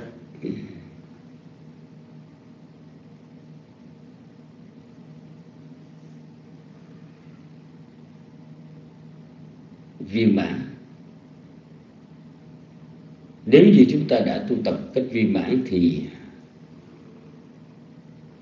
chúng ta nghe cái bài kinh này, chúng ta sẽ tự khắc hiểu. Ở đây thưa quý vị,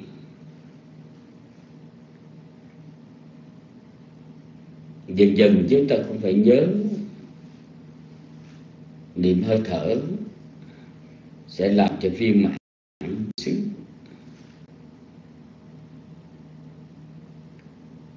Bởi trong đó nếu mà chúng ta chánh niệm hơi thở, nó liên quan thân hành. Thì được cái đó kể như là thân có niệm xứ. Chúng ta niệm hơi thở mà liên quan đến cảm giác là thọ hỷ thọ. Độc sanh với hơi thở, thì về cái đó là quán niệm hơi thở theo khía cạnh thọ quán niệm xứ.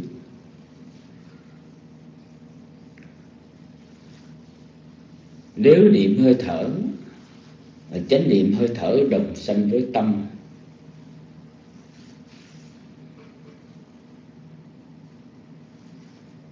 Với tâm gì sanh khởi? Thì ghi nhận hơi thở. Đi với tâm đó thì như vậy chẳng hạn như là tâm hành. Thì như vậy được gọi là tâm quán niệm xứ, qua quán niệm hơi thở.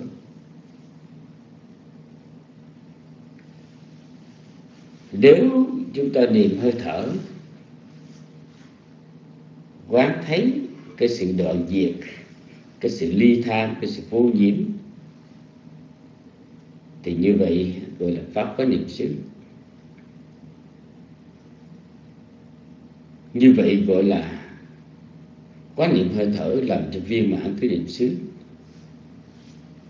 Còn cái gọi là quán niệm hơi thở viên mãn thích cái chi như chúng ta đã biết thì không phải chỉ niệm đơn giản. Ở trong thiền quán á, thì quán niệm hơi thở là phải có niệm giác chi ghi nhận từng hơi thở ra hơi thở vào. Ghi nhận, thấy rõ cái hơi thở đó, tức là danh là sắc, tâm mà tạo ra cái hơi thở gọi là danh. Và hơi thở nó thuộc về hư không giới, do địa giới, phong giới, thủy giới và ngoại giới tạo nên cái hơi thở. Thì như vậy, chúng ta có cả danh sắc ở trong trường hợp này. Và khi mà chúng ta dùng trí tuệ để thẩm sát về hơi thở, qua danh sắc thì như vậy, cái đó là trạch pháp chất chi. Vân vân. Thì như vậy thì cái cái cách mà chúng ta quán niệm hơi thở đó,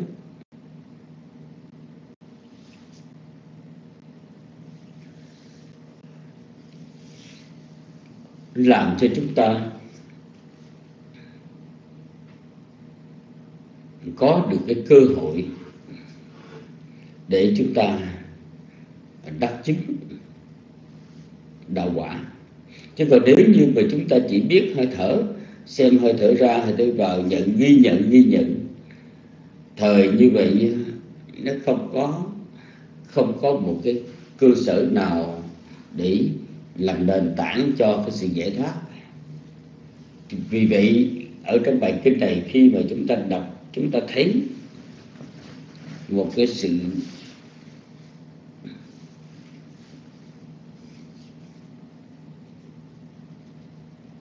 hổ tương giữa các pháp với nhau.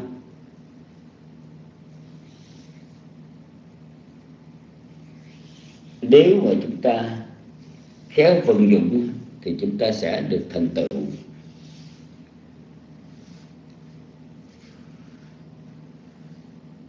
Tuy nhiên, ở đây chúng ta cũng nên chú ý khi mà đức phật dạy xuất tức niệm làm cho viên mãn tới các chi là ngài nói trên phương diện cái pháp độc sanh hay là trên khía cạnh thiền. Còn bình thường trong đời sống của chúng ta chúng ta, nếu mà chúng ta chưa có tu luyện để có được, để dài dặn cái niệm giác chi hay dài dặn cái trạch pháp giác chi hãy dài dặn cần giác chi hỷ giác chi tịnh giác chi định giác chi và sở giác chi. Thì bây giờ chúng ta bắt đầu tập. Chúng ta tập hãy chúng ta thấy chánh niệm mình còn yếu thì mình có thể mình luyện tập bằng cách là điểm bất cứ một đề mục nào với cái sự uh, chú tâm. Và khi mà chúng ta ghi nhận từng quay nghi cử động.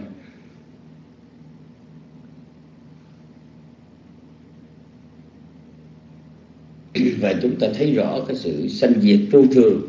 Thì bắt đầu chúng ta luyện cho mình cái trạch pháp, cái chi là cái trí tuệ để mà thông thấu được cái đặc tính của pháp.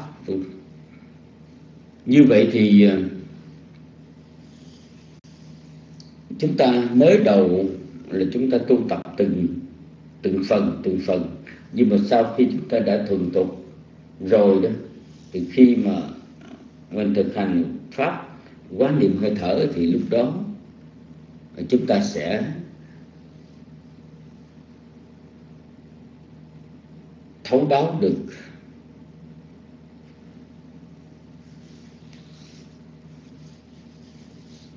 cho nên cái phép niệm hơi thở, nó không phải là một đề mục thông thường. Mà tu tập cho đúng mức đó, thì phép niệm hơi thở nó sẽ đưa đến một cái trạng thái chứng đắc đặc biệt. Chúng ta còn nhớ ở dưới cội cây bồ đề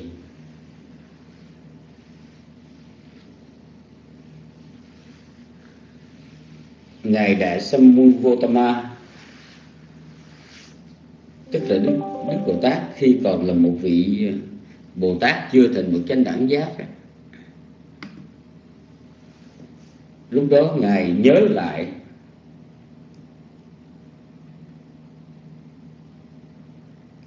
hồi thiếu thời lúc còn 7 tuổi thầy cha là phụ vương xuất thôn đến đó đi ra ngoài đồng làm cái lễ gọi lễ hạ điền tức là xuống ruộng để cày cấy, vua làm làm gương. Lúc đó thế tử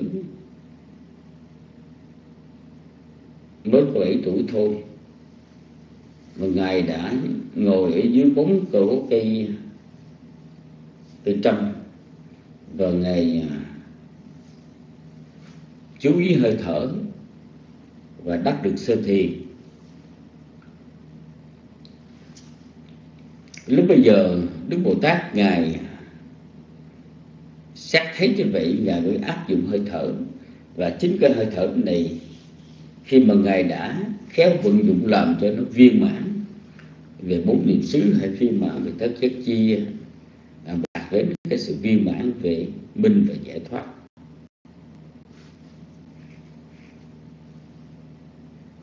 Thì đây là những điều mà chúng tôi xin được uh, chia sẻ trong lúc chờ đợi cái câu thảo luận của thượng tọa giáo đảng soạn. Và bây giờ thì chúng tôi đã thấy có câu thảo luận đưa ra, xin thỉnh thượng tọa trở lại điều họp nam mô của thầy.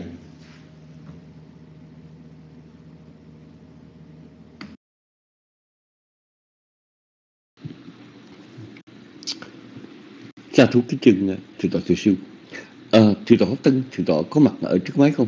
Nếu thượng tọa Pháp Tân à, đang có mặt ở trước máy và nghe được xin thỉnh thượng tọa Pháp Tân trả lời cho câu thảo luận số 1 thượng tọa Pháp Tân à, có nhiều người à, đưa ra những quan niệm như vậy là người ta ít phiền não thì người ta tu được còn mình phiền nhiều phiền não mình không tu được. Người ta ít bận rộn thì người ta tu được còn mình bận rộn quá thì mình không tu được hỏi mà liên quan tới bài học ở đây là theo cái nhìn của thượng tọa thế thì một người bận rộn nhiều công việc thì có nên tu pháp niệm hơi thở không cái thỉnh thượng tọa học tinh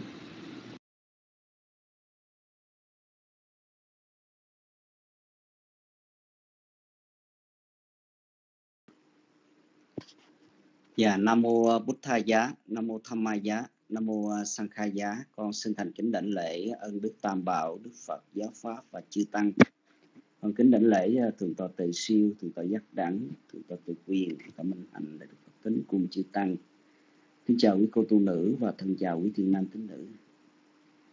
Cảm ơn à, quý Phật tử cho biết đã nghe rõ. À, về vấn đề mà tu à, gọi là tu về niệm về hơi thở thì con nghĩ rằng đó là một cái gì đó nó nó gần gũi với lại cái đề mục hơi thở thì nó gần gũi với lại con người của chúng ta. Bởi vì uh, con thấy là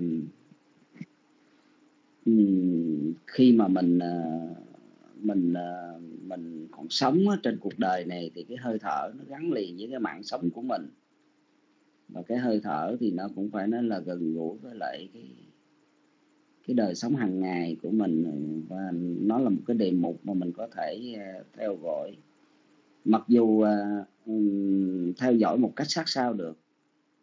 Uh, mặc dù là có nhiều cái à, cái đề mục khác nhau để mà mình uh, một người tu tập về thiền có nơi thể nương tựa vào đó để tu tập. Tùy theo mỗi người uh, có thích hợp cho mình một cái đề mục nào đó. Thì theo con con riêng con thì con nghĩ rằng à, cái đề mục hơi thở là cái gì đó nó gần gũi với lại cái đời sống của của mình nhiều hơn. À, khi mà mình à, rõ ràng là khi mà mình à, mình bận nhiều công việc đó thì do mình à, khi mà mình làm việc việc này việc kia đó thì mình ít có chú ý đến cái cái việc hơi thở của mình cái hơi thở của mình. Thì cái hơi thở nó là theo con nghĩ là nó là cái quán tính tự nhiên. Ừ, bởi vì theo cái sự tuần quần của à, của cơ thể À, tuần quần của cơ thể nhịp đập của trái tim à, thì cái chuyện đó nó bình thường. Rồi phà phổi của chúng ta thở ra thở vào để tạo nên cái không khí cái à, hơi thở ở trong cái đời sống của mình. Nhưng mà khi mà mình bận việc công việc á, bận nhiều công việc á, thì mình lại có khi đó thì có một người đó thì khi mà mình bận công việc thì mình lại chú ý đến công việc làm cái công việc đó ra sao ít có chú đến chú chú chú tâm hơi thở. Yeah. Nhưng mà con nghĩ rằng uh, trong cái đời sống hàng ngày khi mà mình mình mình uh, những cái lúc mà rảnh rỗi à, những cái lúc mà rảnh rỗi đó thì mình à, phải thường xuyên trao dồi cái hơi thở của mình. Tức là mình có sự chú niệm ở trong tập chú ở trong cái cái cái hơi thở của mình bằng cái đời sống chánh niệm đó mình có ghi nhận biết hơi thở ra hơi thở vào. Thì con nghĩ rằng à, khi mà mình à, mình mình tập cho mình như vậy mặc dù là khi buổi ban đầu của mình tập nó khó à, là có những cái lúc mình bị bị sao lãng mình quên đi à, quên đi. Nhưng mà khi nào mình sực nhớ lại đó thì mình lại là tiếp tục theo dõi hơi thở nữa. Cứ như vậy và làm hoài. Thì con nghĩ rằng à, cái việc mà một người mà niệm về hơi thở đó, thì có cái sự tuân tục lâu ngày chạy tháng thì nó sẽ từng thuộc thì nó vốn là tự nhiên. À, hơi thở ra hơi thở vào là do cái tâm cái cái sự chú niệm à, cái cái sự chánh niệm của mình có đó thì mình cũng có thể ghi nhận được. Vì à, đối với cái đời sống của một cái người hành thiền thì con nghĩ rằng à, dù gì đi nữa thì mình cũng phải tập tới tập lui. Ừ, biết rằng à, có những cái công việc à, đòi hỏi chúng ta phải ờ, bị ờ, khi chúng ta ờ, làm cái những công việc gì đó thì chúng ta lại bị sao lãng ở trong cái đề mục hơi thở. Nhưng mà rồi đó thì mình cứ tập tới tập lui hoài như vậy. Thì con nghĩ rằng à, đến một lúc nào đó nó có cái sự thuần thục nha yeah, nó có sự thuần thuần thục thì thuần thục nó giống là tự nhiên. Khi mà mình mình đã có cái sự chánh niệm rồi thì từ trong mỗi cái hơi thở ra vào mình có cái sự ghi nhận khi mà một người có cái sự thuần thục ở trong cái sự ghi nhận về hơi thở niệm và hơi thở đó. À, tôi nghĩ là như vậy. Cho nên là à, à, à, chính vì à, sự thật ra đó thì à, những cái công việc nó là cái sự chướng ngại cho cái à, cái việc mà một của người một người hành thiền. Nhưng mà mình nói như vậy thì không có nghĩa là mình mình mình mình mình lại bị uh, cái việc mà do công việc rồi mình lại là không có uh, theo dõi hơi thở được không có tập chú được hơi thở đấy thì con nghĩ rằng uh, cái điều đó nó nó nó uh, nó rất là là là là là hạn chế cho cái đời sống tu tập hành thiền của một vị hành giả. Cho nên là khi mà mình mình theo dõi hơi thở thì bất cứ trường hợp nào mình cũng ráng cố gắng uh, cố gắng những cái lúc rảnh rỗi thì mình cũng phải cố gắng à, để mà mình à, theo dõi hơi thở rồi à, con để ý rằng nếu mà mình có cái sự thuần thục rồi đó thì à, có khi chúng ta bị sao nhãn nhưng mà đã từ khi thuần thục á, thì tự động cái hơi thở nó nó vốn là tự nhiên như vậy thì mình cũng có thể ghi nhận được yeah. Có thể ghi nhận được chứ nếu không thì mình cũng bảo rằng là mình không có thể hành thiền được hay là mình không có thể theo dõi hơi thở được thì con nghĩ rằng là cái công việc là những cái công việc bên ngoài nó là vẫn là công việc. Và đối với cái người tu tập thì à, trong trường hợp nào thì cũng phải à, theo dõi cái đề mục của mình à, sát sao với cái đề mục của mình bằng cái sự ghi nhận trong cái hơi thở của mình ra vào, mạnh yếu, lên xuống gì đó. Thì con nghĩ rằng cái điều đó nó Ờ, rất là quan trọng. À, khi mà mình à, rảnh rỗi lúc nào thì mình hành thiền. Còn cái công việc ấy, thì nhiều khi nó nhiều cái sự trở ngại cho cái việc hành thiền của mình. Nhưng mà khi đã thuần thục rồi đó thì chính cái hơi chính niệm một ừ, chính cái đề mục hơi thở và cái sự chú niệm hơi thở nó vốn là tự nhiên thì cái gì cũng có cái sự ghi nhận được. Theo con nghĩ là như vậy.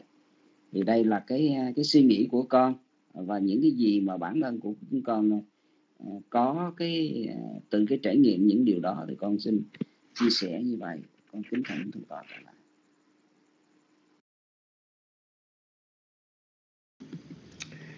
Sa thú kính trân thượng tọa, pháp tinh. Đại đức pháp tính, đại đức pháp tính có mặt ở trước máy không? Nếu ờ, đại đức pháp tính đang có mặt ở trước máy, xin để đi tính trả lời cho câu à, thảo luận tiếp theo.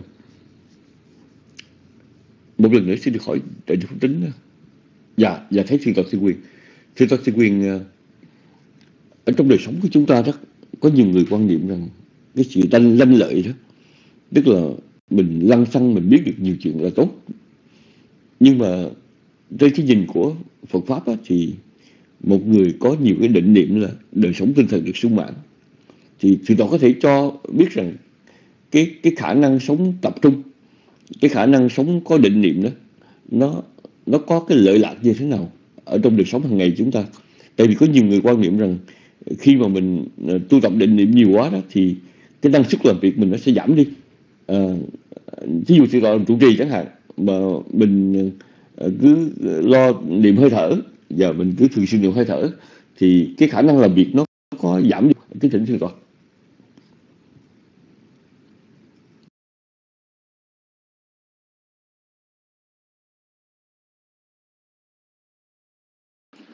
nam mô bổn thầy, giá nam mô tham ma giá nam mô sang khai. Giá thưa đại chúng, nghe rồi thì cảm ơn quý vị.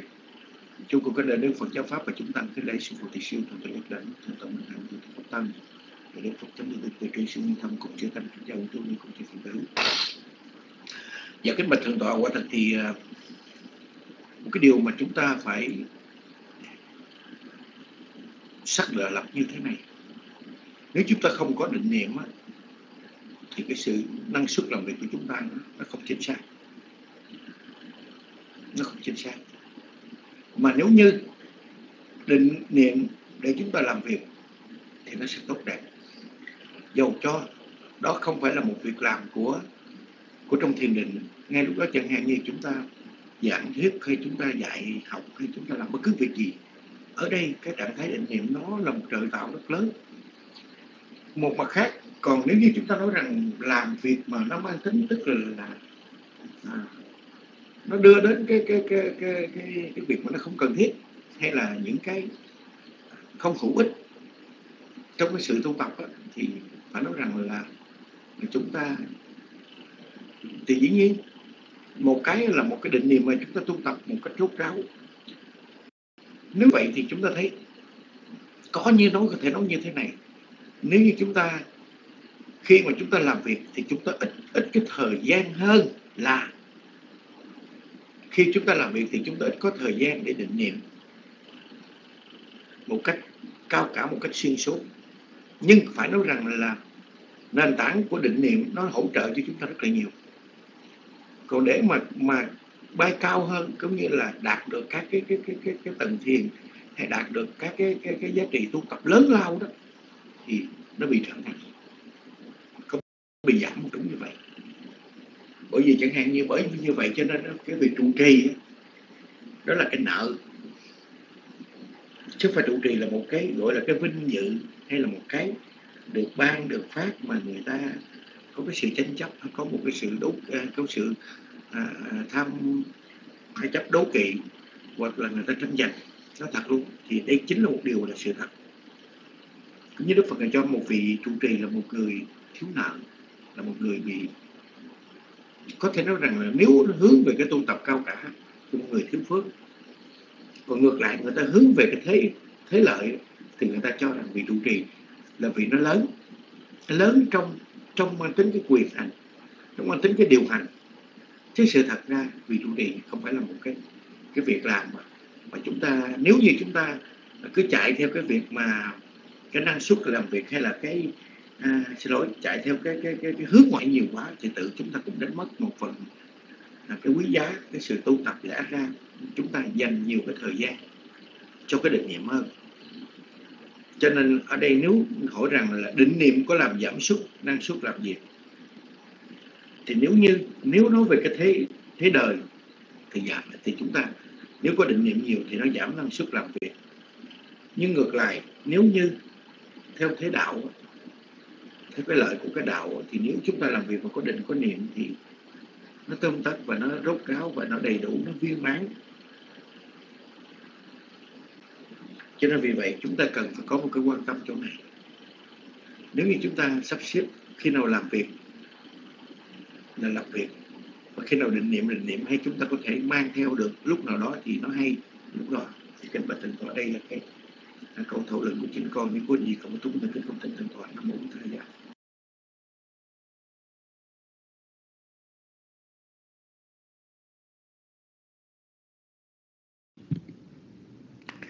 Sa thú kính trường thượng tọa thầy quyền.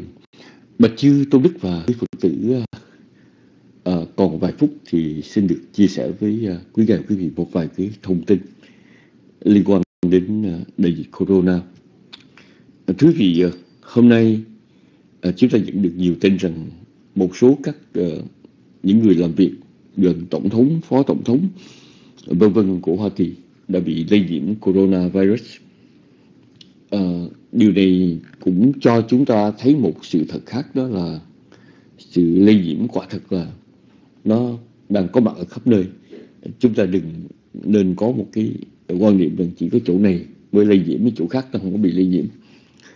À, một điều mà hôm nay CDC tức là cơ quan à, phòng chống dịch bệnh của Hoa Kỳ à, vừa đưa ra cái bản hướng dẫn liên quan đến khẩu trang đó thì chúng tôi xin được à, Ờ, chia sẻ với quý vị ở đây một vài điều mà ờ, dựa trên cái thông báo đó. Trước nhất thì chúng ta rất là nên mang khẩu trang. Khẩu trang không có nghĩa là tuyệt đối. giúp chúng ta tránh được bệnh nhưng mà nó còn sẽ góp phần vào thì ờ, người ta khuyên cái điểm đầu tiên mà chúng ta chọn mua khẩu trang đó, là chúng ta chọn khẩu trang nào nó vừa với khuôn mặt của mình Ờ, đây là điểm quan trọng lắm bởi vì khuôn mặt mỗi người có lớn có nhỏ và không phải tất cả các khẩu trang giống nhau chẳng những khuôn mặt uh, cái khẩu trang nó vừa úp vào cái sống mũi của mình uh, miệng của mình nó bao càng càng áp sát càng kín đó. và bên cạnh đó thì cái dây đeo á thì nó phải là vừa vặn với cái vành tay của mình yeah, dạ, đó là điểm thứ hai mà chúng ta nên nghiên cứu chúng ta sẽ mua một vài thứ khẩu trang về để thử. Và điều thứ ba đó người ta khuyên là khẩu trang phải dễ chịu để mình thở. À, có nhiều thứ mình mang khẩu trang vào uh, mới mang thì không nói chi nhưng mà mang lâu thì hơi khó thở một chút. Thì phải cẩn thận là bởi vì uh, nếu không uh, do cái sự chịu khi mang khẩu trang làm cho chúng ta tháo tháo ra tháo vào ngoài và rốt cuộc thì lợi bất cập hại nó sẽ gây cho chúng ta cái cái việc dễ bị truyền nhiễm hơn có có nhiều đại đại đa số người không có muốn mang khẩu trang bởi vì họ lựa những khẩu trang không có uh, không không tránh được những cái khó chịu. Có một vài loại khẩu trang mang vào khó chịu lắm thưa quý vị khó chịu lắm nên phải cẩn thận. Và người ta khuyên rằng khẩu trang nên có nhiều lớp dạ yeah, có nhiều lớp thay vì một lớp. Uh, ngoại trừ cái khẩu trang mà của N95 họ sản xuất thì uh, đặc biệt một lớp nhưng mà lớp đủ dày còn đa số các khẩu trang gọi là đúng tiêu chuẩn thường là ba hoặc bốn lớp thì như vậy cái khả năng ngăn ngừa sẽ nhiều hơn. Sau cùng ờ, ở vào trong thời đại dịch bệnh này ờ, chúng ta một ngày có rất nhiều lần phải tháo ra mở vào uh, mặc vào hoặc là tháo ra các khẩu trang. Nên chúng ta nên lựa cái loại khẩu trang nào có thể giặt đi giặt lại xài lại nhiều lần. À, đây là một cái đây là một điểm rất là là cần thiết. Ờ, nó có những loại khẩu trang y tế xài xong rồi bỏ đó. Thì chúng ta có tưởng tượng một ngày mà mình phải ra ngoài mà xài cả chục cái như vậy thật ra ờ, rất là tốn kém và đồng thời mình cũng không có uh, cái khả năng mang theo. Thì mỗi lần đi ra bên ngoài chúng ta nên mang theo ít nhất là cũng ba bốn khẩu trang để sau khi mặc đi vào một chỗ nào đó thì không nên đeo trở lại mà chúng ta bỏ vào trong một bao ni lông và xài cái mới. Nhưng mà những thứ này đem về nhà có thể giặt được cái nhiệt độ của máy giặt nóng đó và có thể giúp cho chúng ta với xà, xà bông nó diệt trừ các vi trùng à, đóng ở trên khẩu trang. Và à, uh, CDC khuyên chúng ta nên lựa những khẩu trang có thể giặt đi giặt lại xài lại nhiều lần. Nên uh, thưa quý vị thời gian sắp tới có có là chúng ta phải học cái cách để sống với coronavirus. Uh, rất là khó để có một cái ước tính là chừng bao lâu nữa bệnh dịch sẽ đi qua. Ờ, và hầu như mỗi mỗi chúng ta đều phải chuẩn bị ờ, cho cái cuộc sống bình thường. Cuộc sống bình thường có nghĩa là cuộc sống có tiếp xúc. Ờ, có đi đó đi đây có ăn ở nhà hàng có uh, đi shopping có đi chợ mua thực phẩm. Và vì vậy khẩu trang là một phần ở trong khi chuẩn bị cần thiết. Chúng ta nên cố gắng uh, lựa chọn cẩn thận rất cẩn thận để biết mang khẩu trang và nên thay đổi cái nhìn của mình thay vì uh, hồi trước giờ chúng ta kỳ thị ghét bỏ khẩu trang hay là không thích ưa thích khẩu trang chúng tôi biết rằng có rất nhiều người Mỹ họ rất là bực bội khi mang khẩu trang nhưng mà phải nói một điều rằng đó là một ở trong những cái biện pháp giúp giảm thiểu cái sự lây lan của uh, siêu vi Covid-19 Xin được kết thúc chương trình sinh hoạt hôm nay của Trung Phật Pháp Buddha Dhamma. Kính tri ân chư vị giảng sư đã vào cùng thuyết giảng đảnh lễ quý ngài. Thân chào tạm biệt quý Phật tử. Ờ, kính chúc tất cả một ngày an lành, một đêm an lành. Và nên nhớ rằng mặc dù đã có những cái lệnh mở cửa uh, giảm thiểu phong tỏa đó đây, nhưng mà bệnh dịch vẫn đang khoanh hành. Mong rằng chư tôn đức và quý Phật tử luôn luôn cẩn thận ở trong mọi trường hợp, ờ, uh, nên giữ sự an toàn cho mình cũng là gìn giữ sự an toàn cho những bệnh mình hẹn gặp lại quý ngài và quý vị trong chương trình ngày mai nam mô bổn thầy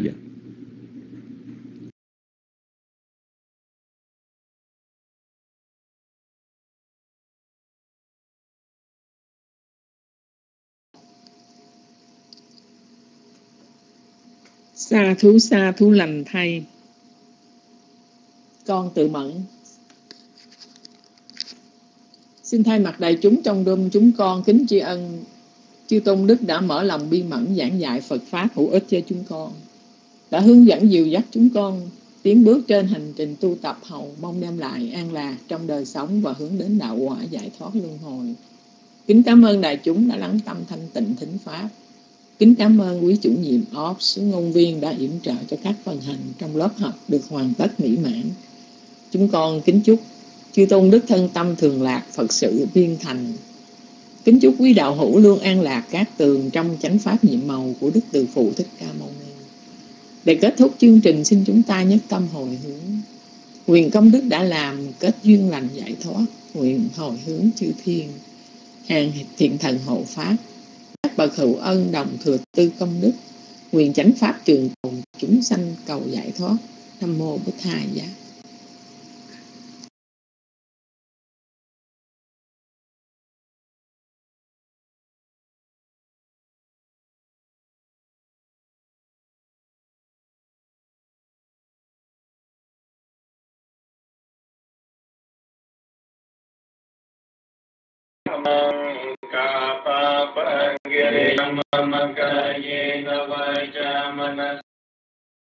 ติกตังกตังเยสะเอตาตาสัญญิโนอาติเยยสัตตาสัญญิโนกตังบุญญพลังไมหังสัพเพปากีปวันตุเตเยตังกตังสุริตังเยนังบุญญพลังมายาเยจตตาธนันติเด Adikatang katang Ekata sanyido atiye yasata sanyido katang bunya palang mayan sapi paki pawantu te ye tang katang suri tang gendang bunya palang maya ye kata tanang Dige Santo Iwe Kayum Sape Lokam Dige Sata Chiwanta Harane Tukka Madonya Kojanan Sape Lapan Tumang Achi Đi Con xin hồi hướng phước lành Khắp cùng Pháp giới chúng sanh gọi nhường mẹ cha